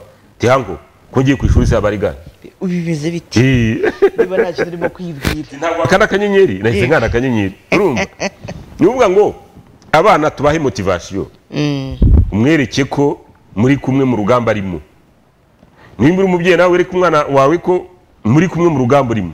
Dutumike tugaruke mu kanya. Reka dutumikire abadutumye ikiganiro ni btn morning live mu kanya tagaruka cyari itangira ry'amashuri ariko turijyanisha n'ireme ry'uburezi umubyeyi umwana ndetse n'aho umwana avoma ubumenyi ariho ku ishuri. Twatangiye amashuri ariko tuza turebe ni gute ikigo cy'amashuri gishobora kuba cyahagarikwa cyane cyane ku itangira ry'amashuri. Abanyeshuri barajya he? Ababyeyi baharerera barajya he? Ese uwo nguwo washinze iryo shuri we aba ari kuregwa cyangwa se aba yagirizwa ibihe bituma ishuri rye barifunga Mm. turagaruka mu kanya. Twakomeje rero n'ikiganiro btn morning live. Mwasomera abantu bakurikiranye iryo tangazo rya nesa yego. Eh, ni ibigo by'amashuri bigera kuri mirongo itanu na bine byahagaritswe kubera ireme ry'uburezi ridahwitse. Ejo bundi twavugaga ko abanyeshuri ijana na mirongo ingahe basangiye igitabo kimwe. Itandatu na bane. Mm, ni pake ya- yakubise itoroshi ryayisanga umuyobozi aravuga ati natwe ntabwo dusinzira birara biduhangayikishije. Bahangayikishwa se n'icyo abana babo ntibiga mu bigo bikomeye? Hari n'abiga hanze y'igihugu. Aha. Urwego rw'igihugu rero rushinzwe ibizamini n'ubugenzuzi bw'amashuri nesa rwatangaje ko mu bugenzuzi bw'amashuri bwakozwe mu mwaka w'ibihumbi bibiri makumyabiri na rimwe makumyabiri na kabiri hari ibigo by'amashuri mirongo itanu na bine bimwe- eh, byimwe uruhushya rwo gukomeza gutanga uburezi mu rwanda. Ibigo by'amashuri mu rwanda bigenzurwa bigenzurwa umunsi ku wundi hagamijwe guhamya ko abanyeshuri bahabwa uburezi bufite ireme. Amashuri yose yaba ayash- ayashyizwe ayashinzwe kera ndetse n'ayashinzwe vuba agira igihe cyo kugenzurwa ayujuje ibisabwa agahabwa ibyemezo eh, icyemezo gishobora kumara imyaka itatu ariko igihe icyo ari cyo cyose bakaba bagaruka gukora nanone irindi genzura. Mu bipimo rero birebwamo cyane hariho ibikorwa remezo nk'amashuri ni ukuvuga ibyumba bitatu ku mashuri y'incuke na bitandatu ku mashuri abanza banasaba ibikoresho byo mu ishuri bihagije ikigero n'umubare w'abanyeshuri bafite cyangwa se bazakenera abarimu n'imfashanyigisho bizatuma umunyeshuri ahabwa uburezi bufite ireme. Umuyobozi w'ishami rishinzwe ubugenzuzi bw'ireme ry'uburezi muri nesa yitwa Kavutse Vianney Augustine yatangaje ko iyo bagenzura bashyira imbere inyungu z'umunyeshuri kurenza izindi ari na yo mpamvu hari amashuri yamburwa uburenganzira bwo gukoresha ndetse no gutanga uburezi ku bana b'u Rwanda. Ati iyo dusanze ishuri ribura ibintu byinshi aho kugira ngo ireme ry'abana ryangirike turiha umwaka umwe hanyuma tukaribwira ko rigomba kuba ryakemuye ibintu runaka. Iyo rero tugarutse tugasana eh, tugasanga ryarabikemuye dushobora kuriha imyaka ibiri cyangwa se itatu. Hari naho usanga rwose no- kugoragoza abanyeshuri ba- babigwamo cyane cyangwa se ugasanga inzu zishaje zanabagwira. Icyo gihe rero turarifunga ubundi twebwe tureba inyungu z'abanyeshuri izindi cyangwa se ibindi bikaza nyuma. Imibare ya nesa igaragaza ko mu mashuri y'incuke mirongo inani n'atanu yasuzumwe kuva muri mutarama kugera muri kamena umwaka ushize hemerewe mirongo itandatu n'atanu. Andi makumyabiri yimwe icyangombwa kubera kutuzuza ibisabwa. Hari kandi amashuri icyenda yisumbuye yari yasabwe guhabwa. Icyiciro cy'ayisumbuye mu bumenyi rusange cyangwa se combination araha- arahakanirwa kubera kutuzuza ibisabwa byatuma eh, zigishwa neza. Mu gihe amashuri yigenga atandatu yasabye guhabwa abanyeshuri eh, barababima naho amashuri cumi n'arindwi y'imyuga n'ubumenyingiro na yo yimwe icyangombwa cyo gukora kubera kutuzuza ibisabwa byatuma iyo iyo myuga yigi- yigishwa aho ngaho uko bikwiye. Ukibaza ngo abanyeshuri bigaga muri aya mashuri bo babyifatamo bate? Kavuze atangaje ko mu gihe basanze ishuri ritujuje ibisabwa rihita ribuzwa kongera gufata abanyeshuri bashya. Rigahabwa igihe cy'umwaka wo gutunganya ibisabwa byatuma abanyeshuri biga neza. Ati ntabwo wahita ubwira abana bari mu ishuri ngo mutahe. Tubaha igihe cy'umwaka hanyuma tukamenyesha akarere kugira ngo kitegure kuzareba aho kashyira abo bana n'ibindi byose byo kwita ku kibazo eh, bakabikora. Niba ari umushoramari ari ikibazo cy'intebe cyangwa se ibikorwa remezo muri icyo gihe cy'umwaka akatwandikira avuga ati bya bintu nabikoze. Duhita tugenda tukamufungurira ntabwo wahita ubwira abanyeshuri ngo nibasohoke batahe abana na mwarimu bose ukabakura mu ishuri. Ibi ibigo bikunze guhura n'ibi bibazo ni ibyigenga. Bityo abarimu babikoreraga bahita bishakira ahandi bajya kwigisha mu gihe aho bakoreraga biba byanze. Nesa kandi ivuga ko iyo kugira ngo umuntu atangize ikigo cy'amashuri cyangwa se akorerwe isuzuma bisaba ko atanga ibyangombwa bitarenze ukwezi kwa gicurasi bigatuma mu gihe ababishinzwe basuye ishuri rye rishobora gutangira cyangwa se gukomeza imirimo mu mwaka ukurikiraho w'amashuri. Ubwo ni mu kwezi kwa cyenda. Kuva muri kanama rero kugeza muri nzeri umwaka ushize nisa yagenzuye ibigo by'amashuri ijana na mirongo irindwi n'umunani. Birimo abafite ishami ry'abaforomo umunani amashuri y'imyuga n'ubumenyingiro mirongo ine ndetse n'amashuri y'uburezi bw'ibanze ijana na mirongo itatu n'umunani. Kuva muri mutarama uyu mwaka hagenzuwe amashuri mirongo irindwi n'atatu y'ubumenyi rusange mu burezi bw'ibanze mu gihe ay'imyuga n'ubumenyingiro ari cumi n'atandatu. Ngayo nguko. Urumva ko ikibazo kiri kuri leta buriya kuko leta itwereka ko yubatse amashuri menshi cyane. Njye mbaye nka minisitiri mbaye nka minisitiri none aha ngaha nakubwira ngo abantu bose ntibajye kwiga mu bigo bya leta. Kuko ni na yo mpamvu uri kubona ireme ry'uburezi rigenda ricumbagira. Aho ufite amafaranga menshi arafungura ishuri. Oya arajyana umwana we muri rya shuri nyine Eh, rifite ubushobozi. Ariko mu gihe leta yashyiraho imbaraga ikavuga ati amashuri yose rero bagasiga pirive nkeya na zo zagenzuwe. Ziri vip Eh, ziri vip zagenzuwe bakavuga ati izi zuje karite. N'abo barimu benshi birukanka bajya gushaka akazi mu izo pirive bajya gushaka akazi muri leta bakigisha abana b'u rwanda. Nabo baravuze bati ibi bibazo byinshi biboneka mu Eh. bigo by'abigenga aha. Ko niba ubushobozi bwo gufungura ayo mashuri. Ibigo by'abigenga rero ukazana utuntu turingushye ngo uri kwigisha ibyongereza ngo uri kwigisha ibifaransa ariko mu by'ukuri ireme ry'uburezi ntaryo uvuga ngo kuvuga igifaransa n'abazerwa barakivuga batarageze mu ishuri. Kuvuga icyongereza n'abagande barakivuga batarageze mu ishuri. Ntabwo ari- bwo burere. Ngo uburere butangirira hano nakubwiye ko umwana ese waramutse mwana kwa kubona abarimu abana bahagurukaga. Sinzi niba kiramutsa tica ba- bagahaguruka bose bakaramutsa mwarimu. Wowe nubwo wa mwana ahagurutse akuramutsa nawe hari ibyo ari kwigiramo. Naza kugera mu rugo araza kubwira iwabo mwiriwe kuko ya- yabimenyereye yabonye mwarimu ari kubikora. Hari aho nize Mm. kujya gutangira amasomo wabanzaga gutera isengesho. Eh, urumva rero umwana ateye isengesho gatatu ku munsi niyo yageraga mu rugo n'ubundi yariteraga byanze ni bikunze ukuvuga ngo tugiye gutangira kwiga amasomo tugiye gutangira kwiga muratangira kwiga kwi- kwiga notre pere Eh, nimba mutangiye kwiga igifaransa igifaransa notre pere que- que tonosa que turenye bien que taboro ibintu nk'ibyo ngibyo bifungura umwana mu mutwe. Iyo ageze mu rugo Eh. akibuka yuko mbere y'igikorwa icyo ari cyo cyose bagomba kubanza bakiraguza uwiteka. Hari ibintu umwana akora ku ishuri mukavuga ati uyu mwana rwose nubwo twambureze ariko hari ibindi bintu agira gute nawe avana ku ishuri hari uwo banyerekaga yageze mu rugo noneho i- iwabo bamugabira iryo atereka reka ntabwo nijya ndakarabye mwarimu yatubwiye ko kurya udakarabye ari bibi. Urumva yatangiye kwiga no kwigisha iwabo mu rugo.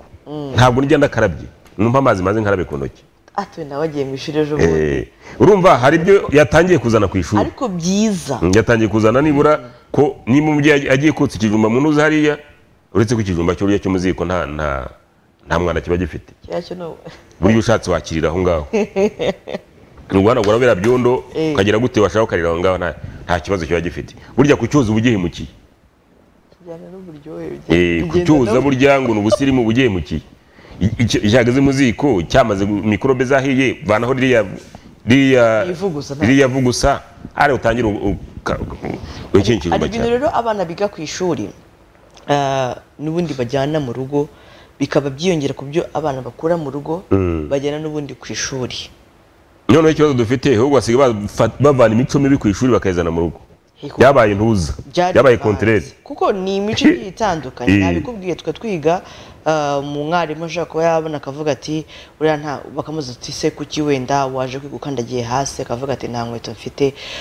Mu- ya saha ya murari nabikubwiye bakavuga bati nta muntu ufite inkweto iwabo atambara azazane duha umuvandimwe. Ukagenda ukazifata ukazaka iwanyu ko nose usanga utabwiye iwanyu twari batoya ukazizana ukazana kagajipo utambara kagashati utambara nko kuwa gatanu umwana agatahana igifurumba cy'imyenda. Mfite umukobwa numvaga ari kuganira na nyina. Ari kubwira nyina ati ati ku ishuri hari abana bafite imico mibi. Tuzi ko bajya no gusambana n'abarimu. Sinzasubirayo. Arabireba akabimenya Ati, sinzasubirayo. Twagiye kumupakiza. Tumuvana ku kigo yigagaho. Turamupakiza njye na nyina turagenda dufata imodoka tujya kumupakiza tumuvanayo. Yirebeye abona ibintu biri kubayo. Avuga ati sinasubira. Ntabwo nasubira hariya hantu. mwana we agiye ku ishuri aravuga ati Mm. "Mvu- ku ishuri mbwiye abayobozi ko mwarimu ambangamira ari umukobwa nawe ati mbivuze ko ambangamira bakumva ari ukumwibasira Mhm. ariko niba mugira ngo nsubire kwiga nongere nige meze neza. Kandi ntabwo nari kugendera ngewe ntabwo nari kugendera ku gitekerezo cy'umwana nabanye nanjye nkora narabanje nkora ntuza sondaje mbageze ku kigo ndareba ibintu biri kuhabera wa mugana bwa iki ni ikigo? Aha ni ahantu ba- bashakira amafaranga gusa. Umwana arasohoka ntibamenye ko yasohotse tugarutse rero kuri uh, kuri ibi twavugaga by'ibigo byahagaritswe. Hari ibintu byinshi bigenderwaho. Iyo uyu mushoramari aje gufungura ishuri nk'ubu umwaka w'amashuri utangira mu kwa cyenda mu kwa gatanu agomba kuba amaze gutanga ibyangombwa byose bisabwa kugira ngo muri ya mezi asigaye ah, ane bamwemerere. Noneho birababaje iyo umuntu baje kumukorera inspection nk'uko wabivugaga ah, nk'ikigo muri rusange? Ubundi tuzagera kuri mwarimu n'abanyeshuri bagasanga ikigo hari ibintu kitujuje bakaguha ya minsi. Ah, nabwo bakaza bagasanga nta kintu wahinduye. Wumvishe ko bababwira ngo mube muretse kongera kwakira abana. Bashya. Abo mufite ni abo ngabo n'ibyanga tuzamenya ko tuzabwira akarere kakabatandukanye Ariko- ugasanga umuntu nubwo ari muri woningi arimo kwakira abana. Aho leta ni ho irangariye. Ntabwo mbivuze gutyo ntabwo naba nacinka amabere. Ni ukuvuga ngo tu- tugiye nko muri gasabo tugiye nko muri gisozi. Dufite ibigo by'amashuri bibiri bishyashya kandi byiza noneho ubwo ni bitatu. Mu tugari tubiri. Bya leta. Hari ikigo kiri hano ku kariyeri hari ikigo kiri hafi n'aka- n'akagari hari ikigo kiri hafi na na hejuru intora ni ukuvuga ngo ibyo ni ibigo bya leta kandi binakomeye. Byiza. Binakomeye. Ariko se leta yize umushinga neza? Noneho iyo ugiye kureba utundi tugo twa pirive turi aho ngaho twisosetse aho ngaho ubona ni twinshi. Natwo ni twinshi. Leta yubatse amashuri abura abanyeshuri bajya noneho ku gisozi bari gusenya. Abo bana bigaga aho ngaho nimba bahunze bagiye ahandi ah, ndaza no kunyura kugira ngo ndebe eh, ndebe abanyeshuri bari mu mashuri ni bangahe? Kuko iwabo barimutse. Iwabo nimba barimutse cyangwa nta bushobozi bafite ntabwo bari buze kohereza abana ku ishuri. Wenda ashobora kuza kohereza ku ishuri kugira ngo baze kujya kurya biriya bigori. Kuko yabuze uko abigenza ariko nta minerivare nta myenda y'ishuri afite. Nta makaye afite. Ni ukuvuga rero ngo leta ishatse ko ireme ry'uburezi ri- rigenda neza ryagenda neza. Kuko kera twa- twarigaga umwana wo kwa minisitiri akigana n'umwana wo kwa wo kwa ni kandi bose bakaba iniforume. bangofero iyi bangofero mwabitaga. bakaba ari iniforume. Ariko uraza kumubwira ngo araza kuza dis- discrimination ni nk'ivangura. Abana b'abakire biga muri iki kigo cy'abakire abana b'abakene biga muri kiriya kigo cy'abakene deje bamaze kuvangura ireme ry'uburezi. Sinzi niba leta ibibona. Ariko bitavuze ko n'undi n'abana biga mu bigo bya leta cyangwa Eh. n'ibiti by'abakene badafite ireme ryiza ry'uburezi. None si ntabwo iryo reme ribuze kuza kugaragara. Ni ukuvuga wari wabona umwana wa minisitiri wiga muri nine years.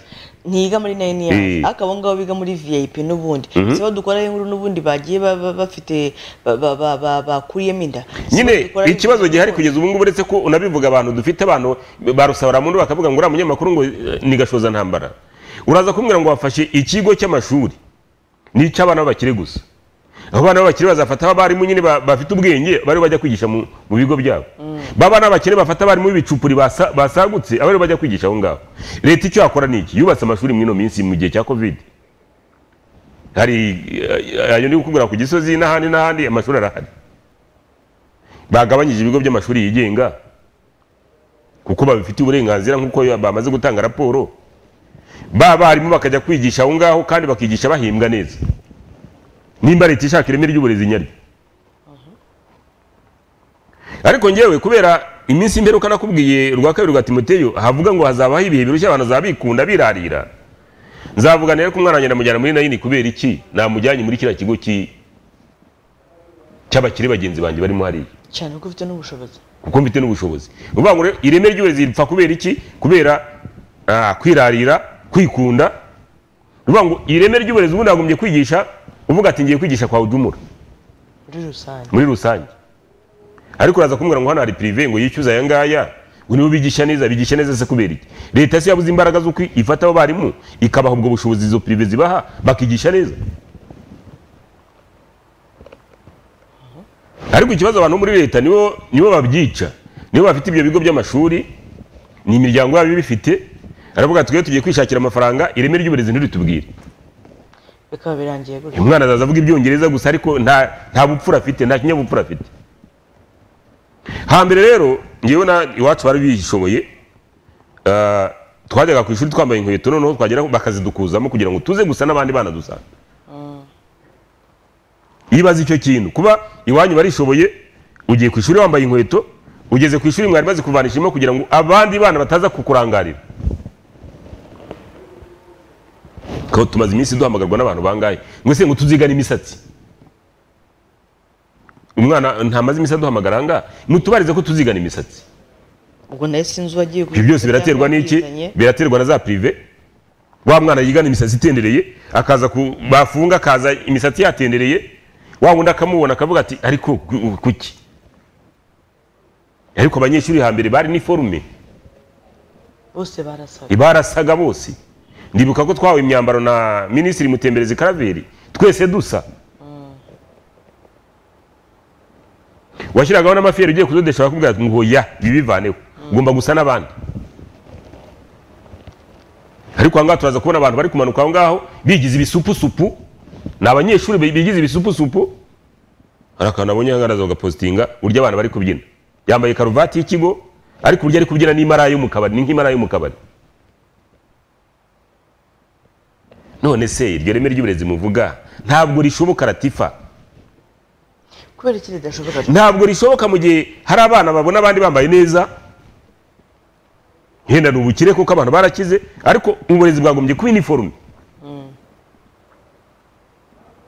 baza kumbwira ngo umuntu umwe afite umusatsi uzi iyo abakobwa basokozaga gutya bose agasatsi kabo bagasokoje anatirere iyi natirere ariko uraza kugera mu ishuri tumeze nk'abantu bameze imvi z'ibitarutaro ba- ziriya bibiri yavugaga.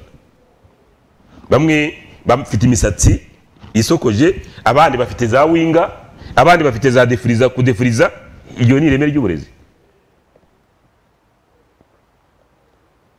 Ireme ry'uburezi ryagombye kuba iniforume nimba leta yarubatse amashuri koko ikubaka amashuri ivuga ati tugiye kubaka amashuri ah, ku- kubera kovide bashyiraho n'ubukarabiro bashyiraho n'urunyariro bashyiraho n'iki?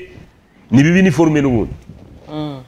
Kuko niza gutambuka nkaza kubona umunyeshuri utashye ari kugenda asokoza n'abandi bagenda basomana mu nzira bavuye ku ishuri.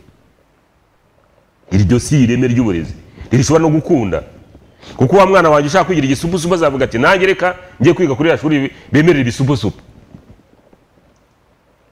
Urumva ikibazo aho kiri ikibazo ntabwo kiri mu babyeyi ikibazo kiri kuri leta. Kuko nuza kumbwira ngo ekore primaire ngo ya hano harya hano ka kigali. Bose bo- bo- bambara kimwe ntawe ushyiraho imisatsi. Na na yo ni yabo rwose nta misatsi ngira ngo bagira aho ni- niko byagumye no kugenda. Ariko wowe urateza ingorane mu buryo bumwe utazi ni ukuvuga ngo igihugu cyacu cy'u rwanda gifite ingorane. Zinakomeye kugira ngo tuzikuremo bizasaba dezane dezane ntuzi nk'igitekerezo ni kuvuga ko abantu bose bagumye kuba iniforume ari ukundi bakavuga ati kiriya kintu kiriya si ikigoryi. Nk'uriya turamukorereye. Ariko uzafata urugendo ntabwo ndibuze kuvuga iryo shuri. Wigire nko ku gisozi nimugoroba nka saa kumi urebe uburyo abana bataba bameze wagira ngo ni imara zivuye mu kabari. Ubu burezi ni burere nyabaki. Ntabwo bishoboka mu gihe dushobora kubona abanyeshuri bameze gutyo abanyeshuri bagombye kuba iniforume mu rwanda bose bagasa. Yagiye ku ishuri buri wese ko basangira ibiryo byose bimwe. Nimba ari kawunga bagiye kwirya bose. Kuki batavuga ngo uyu mwana nuko hari n'akaraza n'amata niko no mu ishuri byagombye kumera. Ntihaba umuntu washyizeho imisatsi ngo bafite amafaranga turareshya iyo twageze ku ishuri. Ni kimwe no mu gisirikare. Ariko ibigo byose n'ubundi bya bya pirive ntabwo bifite abana bafite imico mibi. Hari pirive zifite abana bafite imico myiza. Nk'iziheze Eh? izi ngizi tubona hari amashuri uwo mukobwa wanjye yigaga muri pirive yiga muri pirive abakobwa bakajya gusambana akababona bagiye gusambana akabona bagiye kunywa inzoga bagiye kuko nanjye nagiye nkora sondaje nsanga ni byo. Ibaza aho umwana yigenzura akavuga ati ikigo sinshaka kukigaho. Umwana w'umukobwa ati njye sinshaka kwiga ahangaha urumva ibyo byagombye kubanza ku- kubonwa n'ababyeyi n'ababarezi barera aho ngaho. Ikigo kigomba Eh. kubibona mbere y'uko umwana abibwira ababyeyi. Ariko n'abandi twohereza bakaza ari abatinganyi. Umwana yagiye ari muzima agarutse ari umutinganyi. Ibyo nyine ni bya bigo n'ubundi bashyize imbere kwakira amafaranga y'abanyeshuri kurusha uko batanga ireme n'abandi twohereza bakaza bazi kunywa urumogi bazi no kunywa za mugo. Amafaranga watanze n'ubundi ukaba wari kumureka n'ubundi akajya kwinywera za mugo aho ngaho hano hepfo. Eh, bambwiye ariko ngo nze gutumikira abantu bantu. Eh, uraza kubatumikira batumikira nta kibazo. Tufite amashuri. Dufite amashuri n'ubundi amashuri yatangiye? Eh, ayo mashuri bwira ababyeyi kuko hari ababyeyi bari kuvuga ati ntiturabona amashuri y'abana bacu.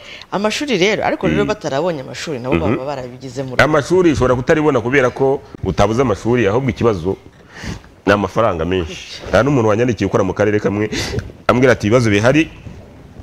Akora mu karere n'umuyobozi. Yabishyize kuri sitati. Eh, arambwira ati ibibazo bihari. Ntabwo ari ikibazo cy'ishuri. Ibibazo bihari ibiciro ku isoko na minerivare nyinshi muri pirive kandi uyu ni umukozi w'akarere. Akora mu karere. Nimba ari gutekereza ko amafaranga ari menshi wowe ari noneho umukozi w'akarere. Wowe noneho. Wowe ngofero abana bawe bariga bate? Mm.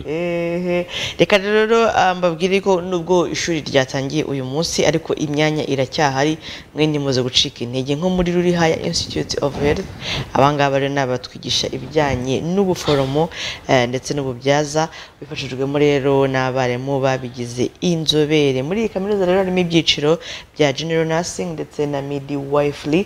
Ba- bakaba rero bakira abize mbc pcb bcg ndetse n'abize ubuforomo ku rwego rwa A2 bahamagare kuri zeru karindwi umunani umunani umunani kane kane karindwi icumi na zeru karindwi umunani rimwe umunani gatanu zeru eshatu umunani. Baherereye rero eh, ah, bafite na boite postale boite postale nyaruka kera jonathan. Ni ijana na ijana cumi na kabiri mirongo inani na gatanu. Aha rero urabasanga n'ubundi ruri ni ho baherereye. Ruri haya institute.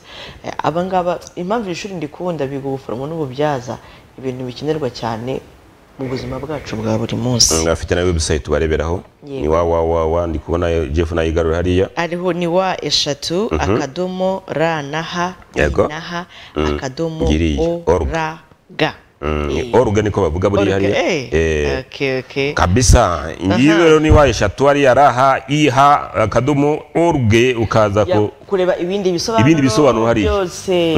Imyanya isigaye irabarwa ku mya- ku myanya y'intoki ariko ubwo mugire vuba. Niyo wize ibintu by'ubuganga burya ntabwo ushobora kubura akazi. Uvuga ngo oh. ingingo jeroneri bahita bagusamira hejuru nka jeroneri wa tiveti Eh. kurangiza n'ubundi ukora. Ah, abandi rero bafite abana batangiye amashuri y'incuke ndetse n'abanza murabagena muri apayela apayeri ni hakurya hariya yego apayeli hano hirya rwose muri gasabo. Yego. ni ukuvuga ngo rero abangaba bafite amashuri y'incuke abanza ayisumbuye akajyana na tvt mu buryo barimo kwiga rero mu yisumbuye harimo accounting tourism building and construction electronics and telecommunication software ndetse na, de- na networking. Bahamagara zeru karindwi umunani umunani itatu kabiri makumyabiri na kane icyenda n'umunani cyangwa se zeru karindwi umunani umunani umunani icyenda icyenda gatatu karindwi gatanu. Ubundi baguhe byinshi ku bisobanuro baherereye rusororo mu karere ka gasabo. Ni hano hirya. Gato gato gato gato cyane. Jona. abandi badutumye? Eh, abandi ndabagaruka. Eh, abandi badutumye ni almaha group. Aruma group. Televiziyo yanjye iracyahari. Yego. Eh, almaha group rero dufitiye televiziyo nziza ya sano smart tv televiziyo rero ireba amashusho ya 4K ikaba ijyamo internet bituma ushobora kuba wakoresha youtube ndetse ukaba wajya no kuri netflix akaba televiziyo rero ijyanye n'igihe. Iryo romba ryawe niyo ngiyo shwa wapi wapi. Mm. ni muri iki gihe turimo turareba champions league. Ukeneye televiziyo ireba neza kugira ngo urebe imikino yose. Bitakwica. Eh, bitakwica amaso bivuga neza. Niyo. Misano smart tv Kabisa. amajwi n'amashusho birajyana bikavuga neza. Bahamagara zeru karindwi umunani umunani mirongo itatu n'icyenda zeru gatanu mirongo irindwi n'icyenda. Baguhe televiziyo nziza. Nyaruka nyabona barambwiye ngo zigiye gushira wenda wasanga nawe uri mu batwaye televiziyo za sano smart tv ku mafaranga make ku giciro cyiza cyane. Dutumikire abadutumye hanyuma tugaruke mu kanya jonathan. Yego. Reka tugarutse mu gace kacu ka kabiri ndabona ari saa mbiri zimaze kurenga iminota makumyabiri n'umwe muri studio za BTN TV Yego. nagira ngo tugaruke ku gace ka kabiri ariko katari buze guhabana ni na, topic twatangiranye. Kuko hari ababyeyi bafite abana bakeneye ko biga ariko abo babyeyi badafite bari kuba mwino minsi. Leta iraza kubafasha iki? Yego. Turaza kureba ahantu abantu bari gusenyerwa babavana mu manegeka. Ese kuba ari kwimuka. Umwana ntibishobora kuza kumugiraho ingaruka. Ni nk'igice kigenda nyine n'ubufasha. Ese leta iraza gufasha icyo aba bantu bari kwimurwa eh, mu manegeka? Ese nta kintu cy'umwihariko bagombye gufashwa? Ikintu cyo kirahari. Mm. kuko nimba baratunguwe. Yego. Yari iminota ya nyuma. Ya nyuma ngira ngo n'abambere bari batangiye kugenda ku ishuri. Yego. Ariko noneho ukavuga uti turebe uruhande rumwe turebe n'urundi. Nibyo koko kuva mu manegeka cyangwa se kuva mu bibazo ahantu utuye ni ngombwa ni n'inshingano z'ubuyobozi gukora uburenganzira bw'umuturage gutura ahantu atekanye. Ariko rero ukareba umuntu kwimuka ntibijyana n'inzu n'ibyo afite gusa. Bijyana n'ubuzima bwe ndetse n'ubwabe abo abo aba areberera mu nshingano ze. Abo bana bari batuye biga aho ngaho n'ubundi bari batuye bashobora kuba bari batuye nabi ariko biga aho ngaho hari hari ibice bituye neza. Bashobora kuba n'ubundi bari batuye nabi ariko wenda eh, hari ibindi bikorwa bikorwa aho ngaho eh, muri ayo manegeka. Kuvanwa mu manegeka rero eh, ni inshingano z'umujyi wa kigali mu nyungu z'umuturage kugira ngo murabizi ko mu cyumweru gishize twababwiye inkuru itari nziza aho umuryango gutya wagize gutya uhura n'ibiza yewe bahasiga n'ubuzima abagera kuri bane bose barapfa. Kubakura mu- mu manegeka ni inshingano z'ubuyobozi. Ariko nanone ba bantu kwe mu manegeka hari ibikorwa bakoreraga aho ngaho. Harimo n'abajyaga ku ishuri. Umunsi n'itangira ry'amashuri. Baraza kuza guhabwa ubuhe bufasha kugira ngo n'ubundi ubuzima bukomeze? Ubuzima bukomeze. Yego biragoranye. Kwimuka bya wanga kwimuka ahantu wari umaze igihe kirekire imvura na yo irimo iragwa igihe ntabwo kimeze neza ariko ni n'ishuri rigomba gutangira ry'umwana. Byanga bikunda? Byanze bikunze. Ubushobozi ntabwo bungana. Cyakabaye bafite ubushobozi batakabaye batuye mu manegeka. Ariko byibuze uwo mwana ashobora kuba yajya kwiga. Cyane ko ari n'imbaraga z'igihugu. Mm. ese ah, wowe wari uhari? Kwa gatanu kwa gatandatu nijoro twaravuganye witegura kuza mu kiganiro. Hari umwuka abaturage bafite aho ngaho.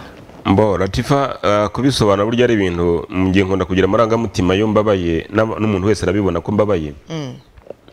Uh, ababyeyi mpita nishyira mu cyimbo cy'uriya muntu wasenyewe eh, yari afite wenda amaze akodeshwa yavanagwa minerivare. Mpita nishyiramo uwo muntu wenda wakodeshaga nawe ariko yakoreraga hafi kugira ngo atunge umuryango we. Yego. Mpita nishyiramo wa mwana wigaga hafi. Ugiye gu ugiye kujya i kantarange. Mpita nishyiramo bya bindi byose twabonaga mu rugo mu gitondo. Urabona iyo umuntu ari kwimuka ntabwo iyi ntebe uyibona ahangaha iyi meza ntuyibona ahangaha mu nzu haba harimo ivumbi hari desordre hajya gutungana hamaze nk'ibyumweru bitatu. None amashuri aratangiye.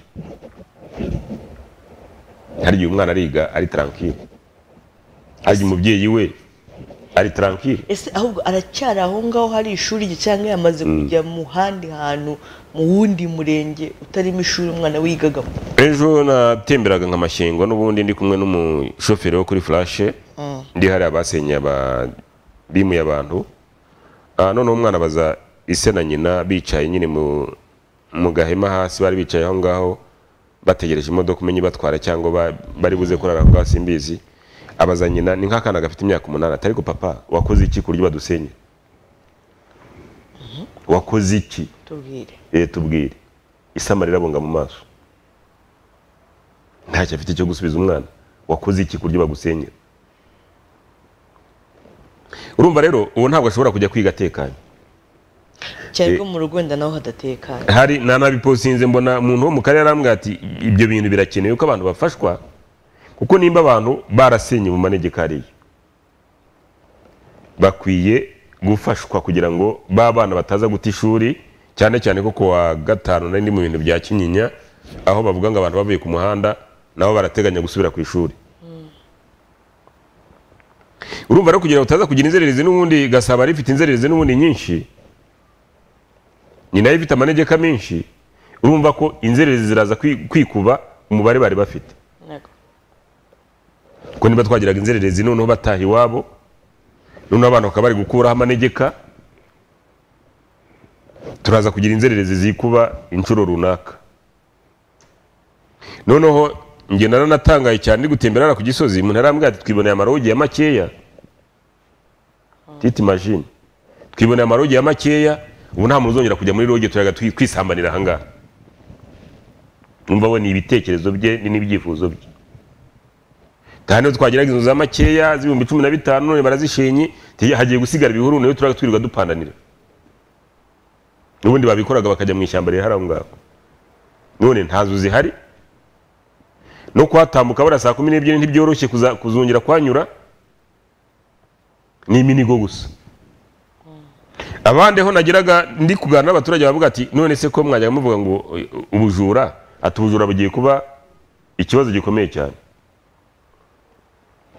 Aho ntuye kuri ya nzu nabugiye kubona mbona bazanye wa mugabo noneho agira ibintu bimeze nk'ubwenge buke aje kubaka abantu banyara ku muhanda. Aho abantu banyara ku muhanda. Ku nzira y'abaturage. Oya ngo ni- ngo ni ho abantu bazajya banyara. Kubera? Yahakoze akabari nyine k'ibigage.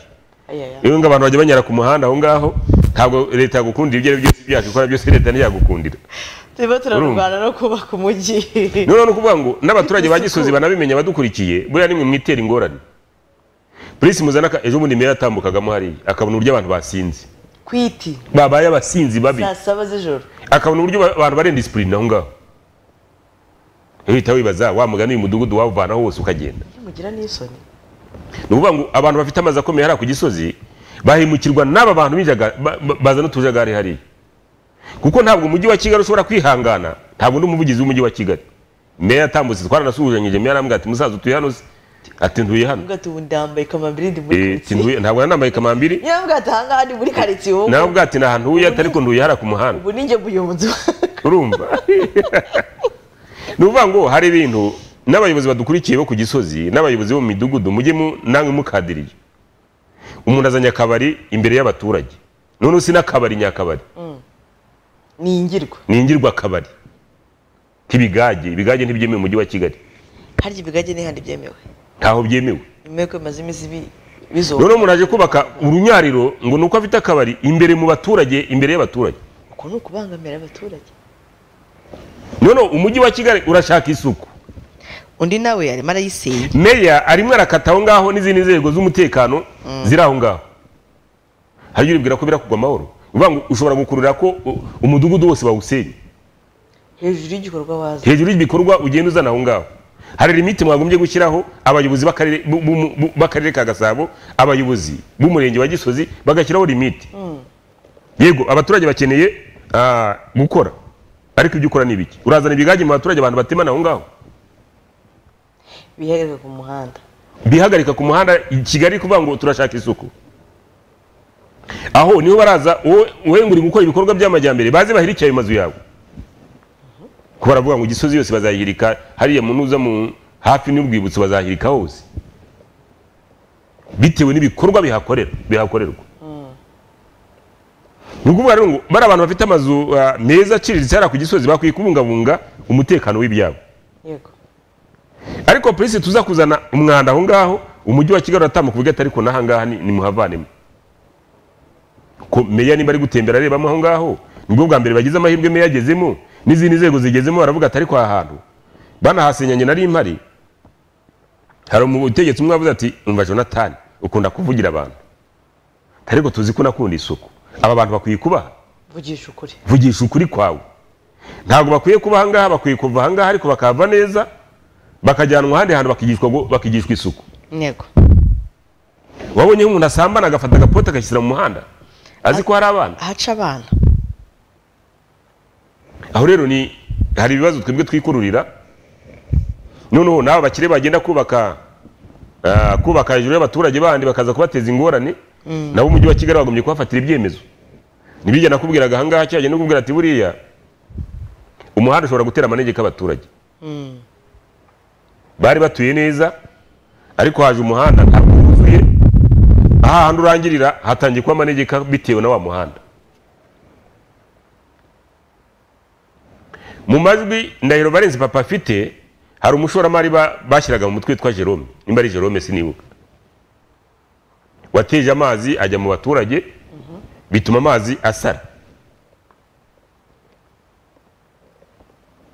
Icyo turiho ni uko abavanywe mu manegeka ni agace kacu ka nyuma k'ikiganiro cyacu. Bagombye kugira umwihariko wo gufasha aba banyeshuri bari kujya ku ishuri. Kuko nubwo yari umupangayi bamuhaye ibihumbi mirongo itatu wenda yakubiseho ibindi mirongo ingahe kugira ngo ajye gushaka kuko ku gisozi nta nzu ya mirongo ine wabona. Biragoye. Biragoye kuko bavuga ko basenyera ingo magana inani. Izo ngo magana inani zikeneye aho ziba. Nimba zikeneye aho ziba rero ntabwo abo bantu magana inani basenyewe bari buze kubona inzu ku gisozi z'ibihumbi mirongo itatu makumyabiri. Ntabwo biri buze gukunda. Aho rero icyo abaturage bantumye gusaba leta ni uko aba bantu bahuye n'ingorane. Boroherezwa kwishyura minerivare cyangwa bako- ba- bagasonerwa boroherezwa nimba yari afite umwana wiga ku kamonyi asaba ikigo kimwegereye aho ngaho ajye yiga ataha yiga ataha ibyo rero ni urugamba ngiye kujyamo mu kanya nanjye ngiye gushaka ushinzwe uburezi mu karere ka gasabo. Mubaze icyo bari guteganya. Bari guteganyiriza aba bantu bahuye n'ibiza kuko ni ibiza biriya na byo kuko ba rubavu tuzi ko basonewe. Banashakirwa n'aho batura eh, batura barubakirwa. Abandi bakomeza guhabwa amafaranga poromo maracyabwa amafaranga yo gukodesha. Nimba abana bose ari kimwe kuki umujyi- umujyi wa kigali udashobora gufata abo bantu bawo ansharije. Nimba ari abajya babo mu cyaro bakavuga ati uyu muntu yasize atagurishije bakagira mu- n'aho umuntu yavuye. Nicyo gikenewe. Ni ukuvuga ngo turi buze kwimura abaturage ariko ba- barimukira hehe? Barimukira aho jabana ajye gukora akandi kajagari ejo bazongere bamusenyere i- akomeze za rurindo ajye gukora akajagari bakomeze bamusenyere noneho hagera hagera ku mupaka ya- yambuke umupaka w'igihugu cy'u rwanda. Ni ukuvuga ngo icyo leta yagombye gukora ntikemure ikibazo iri guteza ikindi. Ntabwo uri buze kumbwira ngo urasenyera umuntu ko banabigezeho bamaze gukora nuza gusohoka wenda uze kwigira kuri tigo hepfo urebe ku gisozi uragira ngo nta nzu zahigeze uragira ngo nta nzu zahigeze rwose. Ni ukuvuga ngo nibaza kumanuka no muri kanyinya hasi bagasenya haraba ari umwirare. Aho ubundi bahateganyiriza iki? Bose bahangana gutyo. Hariya ni zone y'urwibutso Ah, kandi urwibutso uzi ko rwamaze gushyirwa mu mu iniswa amaze kurufata? Ariko nanjye ndi umujyi wa kigali cyangwa ndi leta? Ntabwo naza kubwira umunyamahanga ngo hariya ku gisozi ni ho tugiye ku ngo tugiye ni ho urwibutso ruri. Hari amazu ameze kuriya n'umwana umeze kuriya. Icyo umuntu akimenya abaturage.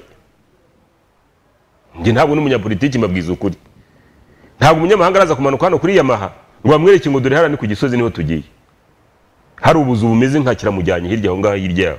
Ibyo ntibishoboka. Ariko ibyo ntibikorwe muri gahunda b'abaturage bavuga ati ariko abantu bari batuye aha ngaha kuko leta ifite ubutaka bwinshi. Igenda icemo ibibanza igenda ibakorera ibibanza byiza ibabwira ati umuntu ufite ubushobozi niyubake aha ngaha. Hera leta ntimwubakire. Rero turashaka inzu zimeze gutya umuntu ufite ubushobozi niyubake aha ngaha. Kuko niko kurwanya akajagari.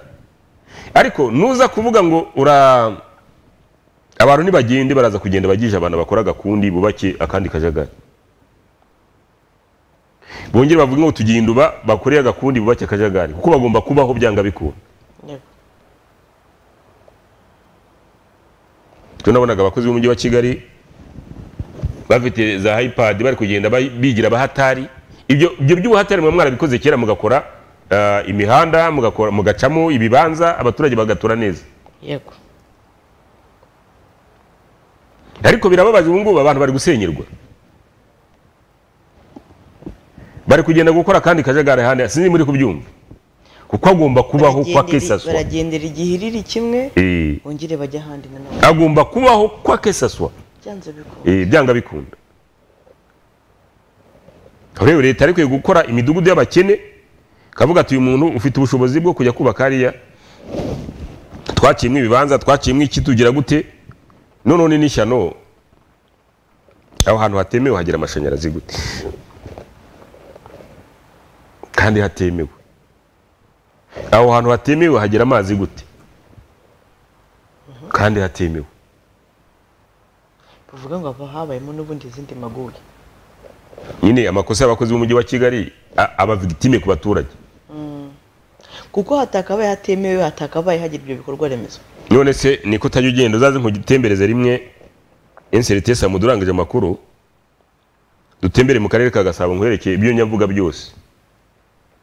Umuntu arimo arubaka nta cyangombwa afite yavuganye na mudugudu yavuganye na gitifu umurenge yavuganye na kagari. Arimo arubaka. Kandi agomba kubaho byanga bikunda. Uvuga ngo uwo bavuganye ni we nibihinduka uzaza kumusenyera. Sinzi nimba iyo fenomene kuyumva. Uvuga ngo aba baturage ba- ba- bubaka ku gisozi kugira ngo yubake ntabwo yubakiye ubusa. Ibyo byose ari abo yahaye amafaranga. None ni nawe ugarutse mu kumusenyera kuko yubatse akajagari. Wowe uri muri iyi ngingo umuntu ati wambare nkaguha amafaranga nkubaka akajagari ejo bakagasenya wamuhaye amafaranga ariko baragasenya. Yego. Fa- ni ni n'ikibazo gikomeye. Icyo wagombye gukora uri umuyobozi wagombye kugira umuturage inama ukavuga ati rero niwubaka aha ngaha nta site ihari bazagusenyera. Niba gusenyera uzaba uhombye ese niba ufite miliyoni eshatu washatse ikibanza ahantu hari site byibuze ese noneho abakozi bo mu mujyi wa kigali bakoze site y'imiturire? Ko ntabwo nzarara hanze kabiri mfite ubutaka? Ntabwo bikunda. Ntabwo bikunda. Zishyiraho igisasu niko hasigaye ngo agiye agiye kwishyiraho igisasu? Aho rero turi gukemura ikibazo ariko duteze ikindi. Nawe mbonye n'imana irakarizunguza umutwe umutingito ati muravahe murajya he? Mbona abantu bicaye munsi y'ama etaje barirukansa none kariya mushaka kubaka. Buriya ga imana burya isumba byose iruta byose. Nabonye abantu bari kuri yeri kariya wa mutingito uba mbona abantu barirukansa muhame hamwe murajya hehe Eh, muhame hamwe. Umutingito w'ejo wari unakomeye gatanu n'igice kimwe niba nibeshye Eh. ariko ushobora kuba utarabaye mu rwanda gusa mbo kera muri za mirongo inani za mirongo irindwi n'umunani ngira ngo irindwi n'umunani iwacu bari bafite inzu yazunguruka duhure nyine inzu yazunguruka duhure cyari nk'igikoni cyo mu rugo gisakaje ubwatsi noneho tuba nyine tujya kurara mu nzu y'ama- y'amabati ariko tugatekera mu nzu yazunguruka duhure inzu rero yabaga ifite inkingi. Umutingito ndawibuka. Nari negamiye inkingi gutya. Ngiye kumva gugugugugugugugugu ngewe n'umuntu ari umwana ntabwo nazi iby'umutingito. Eh, mama ni bwo avuga ati imana irunguza umutwe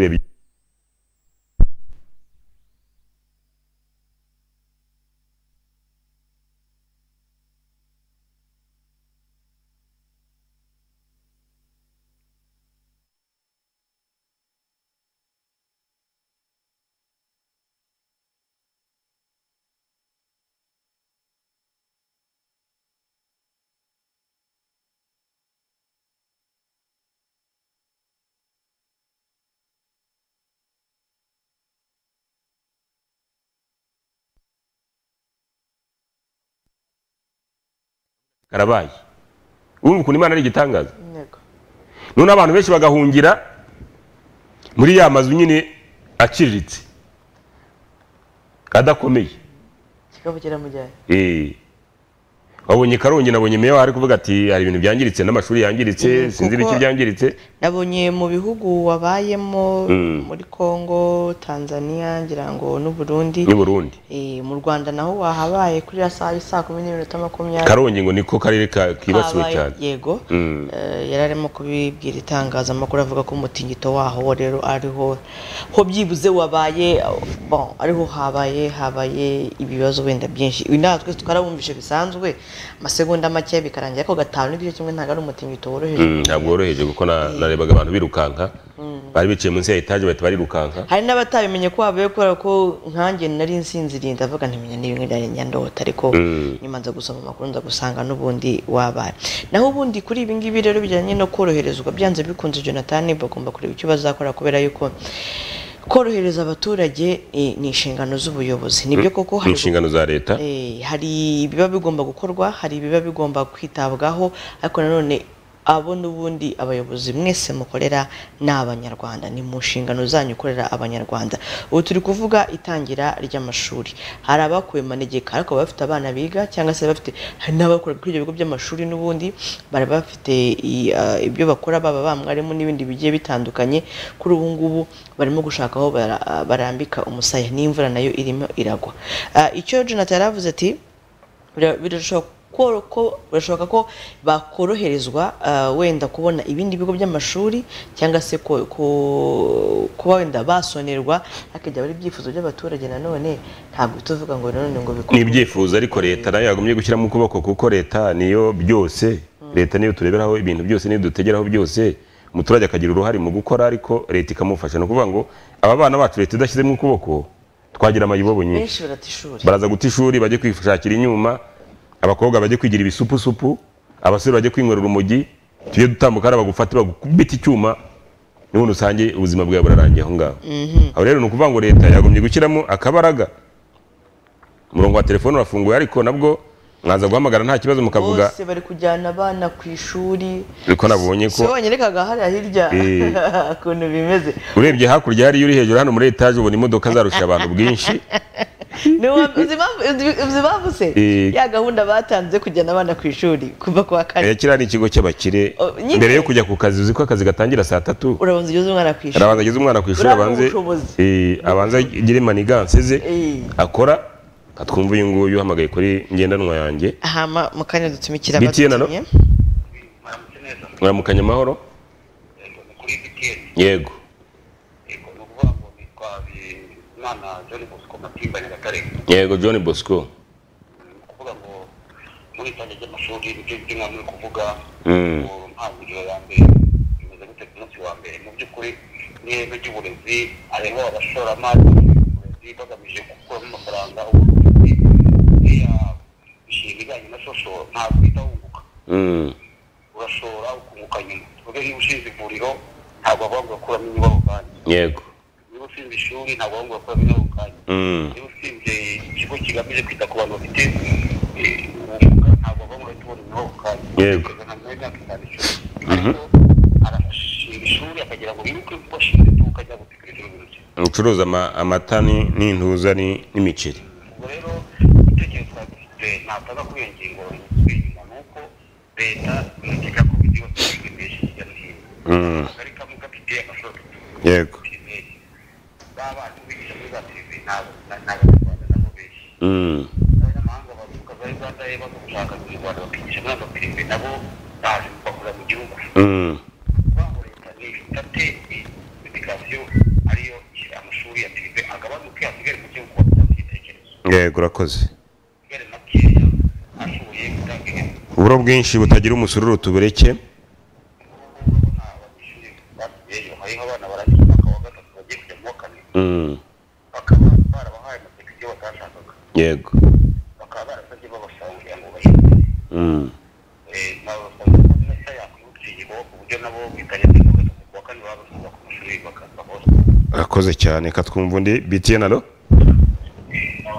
nyabagiye bakanguka yego? Alo? Nguyu ndabona adashaka kuvuga. Btn alo alo? Yego? Eh rero imana yanjye namwe nawe yego musa ni kayonza Mm. nkaba ndi i kayonza mu mujyi wa gabanya televiziyo yawe ni bwo turumvikana yego. Yego Mm. Eh, hari ibitekerezo nagira ngo ntange yego buriya ntanayifunze icyo gitekerezo ni ukuvuga ngo leta n'iterambere ry'umuturage Mm. hakwiye kubaho ubufatanye. Hari ikintu wari uvuze kigendanye no guta ahantu hatemewe? Harimo kugera umuriro harimo kugera ayo mazi. Abo babihagejeje ni ukuvuga ngo bwa bufatanye nabwo igihe bibaye ingaruka ku muturage nabo bakagize ibyo babazwa kubera ko bakoze amakosa. Yo kuba bazana ibyo bintu kandi bazi ko babijyanye ahantu hatemewe yego icyo gitekerezo rero leta guhora wenda tuvuga leta n'umuyobozi wacu nyakubahwa paul kagame mu bitekerezo byiza byaba byo guteza imbere u rwanda ni ukuvuga ngo natwe abaturage turi inyuma ye ariko noneho n'abafite ibyo bashinzwe bagenda bagira ibyo bahashyira kandi bazi ko aho hantu yahagejeje amazi ate ahageza umuriro ate kandi uwo muriro azi yuko ujyanwa ahantu hatemewe abo bantu rero kuko byajyanywe n'abakozi Mm. Kandi bikaba ari ikigo kizwi nabo bahamagarwe babazwe za ngaruka wa muturage agize n'ubwo yinjiye ariko bamujyana nanone mu kumuroha urakoze cyane. Yego. Hari n'icyo mbona latifa buriya umujyi wa kigali wagombye gukora site mu buryo bwihuse. Kuko nudakora site eh, z'imyubakire n'ubundi ka kajagari tuvuga n'ubundi bizakomeza. Eh, ni ukuvuga ngo site umujyi wa kigali nubwo urimo nabonye ari bo wakenyeye uri gusenya ariko mwibuke ko ari namwe mwatanze uburenganzira bwo kubaka. Mm. Eh, Uh, jena wanyemereye tugatumikira abadutumye? Yego. Hama tukaza dusoza ikiganiro. Nta kibazo. Yego. Uh, wa mushuti wacu wo mu budage ati komera cyane. Eh, yarakomera dukurikiye kuri uh, ku ku ikoranabuhanga rya facebook na youtube. Joseph dutumikire abadutumye tugaruke dusoza ikiganiro btn morning live kuri uyu wa mbere yego jonathan. Mhm. kavukire arimo numva kavukire w'umukene. Abantu bazi masabo nyangiza agira ngo yari umuha- yari umuhanuzi. Bimeze bite? Kavukire we? Eh, kavukire w'umukene. Uraguma mu mujyi cyangwa urambuka ngo asigaye ahinga udusigara. Eh. Ngo tw'amasambu kandi yari afite amasi- amasambu eh, Menshi. yagira ngo yi- yi- yikenure. Ariko bari kuza barapima barabara barasinya. Baguteza igikumwe. Agenda we. Ariko abahanzi ba kera mwari abahanuzi sha? Mwari abahanuzi kabisa ni ukuvuga rero ngo tunasoza ikiganiro cyacu ntasigaye iminota mike se? Yarangiye da. Yarangiye. Leta ni cana itoroshi kuri abaturage bagizweho ingorane bagasenyerwa ah, bareba uburyo ki aba bana batatakaza amashuri. Noneho twebwe dukora ubuvugizi tuvuga ati nubwo bimuwe ariko abana barimo bariga.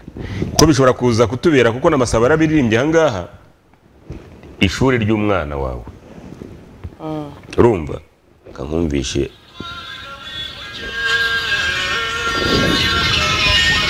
kadusoza ikiganiro kamakingo yawe. Urumva? Ishuri ry'umwana. Kwibogeka i remera ngabanyiriza.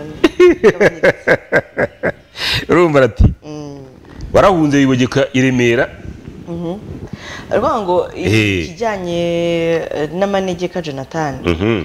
ni ibishyira ubuzima bw'abaturage mu kaga kandi biba bigomba kuvaho gusa ntabwo umuturage ajya abyumva uko agomba kubyumva kandi natwe bitugezeho ntabwo twabyumva. Hari umuntu wambwiye ati njye basenyeye maze ahantu imyaka makumyabiri ntacyo naba mpombye ariko burya uba uba ugihombye niyo yaba ari ukwezi kumwe kubera ko hariya n'iwawe ni ho wari uri n'umuryango wawe kuhava ukajya ahandi. Erega kangura jonathan nta muntu wanze gutura iwe. Nta muntu wanga ibyiza arabibura. Nta muntu wifuza guhora agendana akarago agendana akarago eh, intuza ye. Gusa kandi ese ninde uri guhamagara muri kiriramo siransiye Eh, urumva nta muntu wifuza guhora abunza akarago nta muntu wifuza guhora ah, yimuka ava hamwe ajya ahandi. Buri muntu wese yifuza kuba yagira gute? Nifuza ibyiza. Eh, hari n'abantu wowe ujya uvuga ngo umuntu ngo yagurishije ngo iby'iwabo ngo aza gutura i kigali hari n'abadafite aho batura. Mhm. banamuvura imezi kwa kundi. Mwayivanyemo sinzi icyo ari gushaka uyu muntu tuba batanze nimero zawe. Uri kumva jona muri iri tangira rero ry'amashuri eh, biraza kuza kuba ngombwa yuko wenda hari ikiza kuza gukorwa. Yego biragoye. Ufite gusanga n'icyo twita wenda iyo gahunda ntayo bo bari bafite yuko bateganyiriza abo bana bagiye kujya ku ishuri. Ariko byanze bikunze biraza haraza kuza kureba icyakorwa kubera ko mu itangira ry'amashuri mu bagiye harimo abafite akazi aho ngaho ku mashuri harimo abafite abanyeshuri biga aho ngaho. Eh, n'ibindi bikorwa bigiye bitandukanye. N'abanyarwanda tugira umutima utabara kuko nimba uturanye n'umuntu ugasanga nta kayumana bafite nta ki wagombye kumufasha. Niyo minerivare hari igihe usanga aburaho make ukaba wamworohereza ukaba ikibazo wamufasha. nkanjye ari igihe ansaba agasanga nta kintu mfite. Btn alo Okay. urumva. Nguyu uri gushaka ese ni induyu? Alo? Yego. Ramutse neza? Uze kuri btn hano ku muhima ubwo waza kuri btn bakakwakira hano ku- ku- nu- nuza nyine umwenda kurangira. Sawa? Ni ibyo ngibyo rero abaturage bavuga bati mfite ikibazo muramfasha iki? Uraza ukatugana hano kuri btn tukagufasha. Ibyo dushoboye. Ibyo dushoboye hari biba birenze ubushobozi bwacu. Hari aho dushobora kuba twakurangira yuko bagufasha. Iyo urengana uza hano ariko iyo uvuga ngo bari kunsenyera muze mumfashe baragufasha iki se? Biragoye. Ah, kuri ntacyo tugufasha. Icyo twagufasha no gukorera ubuvugizi nk'ubu ngubu ko abana bashobora kwiga ariko ntabwo twabwira leta ngo hagarara gusenyera abaturage. Ntabwo twabishobora kandi habaye insida y'abantu bapfuye. Tukabibona. Tukabibona. Umujyi wa kigali ukabivuga ko abantu bapfuye ko ariyo mpamvu uri kwimura abantu? Mukaza gushyingura kwa gatanu bari bahari. Ntacyo twakora kindi. Gusa icyo twakora ni ubuvugizi bw'uko abaturage bari kurengana bari kwimurwa wenda badafite aho bari kujya. Hari undi twabwira ngo leta ngo hagarika gusenya amaze gufata icyemezo. Twebwe rero ni uko kaba kabaye leonard mushuti ari gusuhuza ariko. Mu irembo? Yambwira uti mwaramutse neza ngaho gusuhuza ku nawe Gisozi." nawe biza bishobora kumugeraho. Niyitegure aba niyitegure. Atuye hakurya za gatsata kandi abonye imashini zaharaye. Yitegure Eh. kuza kureba ikiza kuza gukorwa jonathan. ariko ikizaba ku mushumba we wabura kizaba no ku mutunzi waho mwihangane nta kundi bimeze no ku isi yubatse. Nyinshi turimo haba hari ibigomba gukorwa n'ibigomba gushyirwa si uku kigali yamye imeze? Ntabwo ari uku kigali yamwe imeze. Ah, si uku yamye imeze tuba tugomba kubana mu bibi no mu byiza. Reka rero ducumbikire aha ngaha ikiganiro btn morning live jonathan. Gahunda ni ku munsi W'ejo. w'ejo? isaha y'isaa moya. Reka dushimire abo twabanye mwese ah, kuva ikiganiro cyatangira haba kuri facebook ndetse na youtube. Hari rero namwe mwadukurikiye hari abari kujyana abana ku ishuri mukomeze mubajyane itangira ry'amashuri. Ah, cya mbere kizarangira ku itariki ah, makumyabiri na zirindwi z'ukwa cumi n'abiri ejo bundi iminsi irihuta. Iminsi irihuta cyane turi rero tariki makumyabiri n'eshanu ni icyumweru cya nyuma cy'ukwezi kwa cyenda. Ngira ngo iki cyumweru cyo dufite cyonyine kuko cyumweru hazaba ari mu kundi kwezi. Dute cyumweru azaba ari mu kundi kwezi? Eh, twageze mu kundi kwezi. Reka rero gushimira jonathan. Nanjye reka ngushimire dushimira n'abari bakurikiranye btn tv reka ibiganiro byacu birakomeje reka tubifurize rero no kugira intangiriro z'icyumweru nziza. Muhahe muronke uwiteka abarinde. Ciao ciao.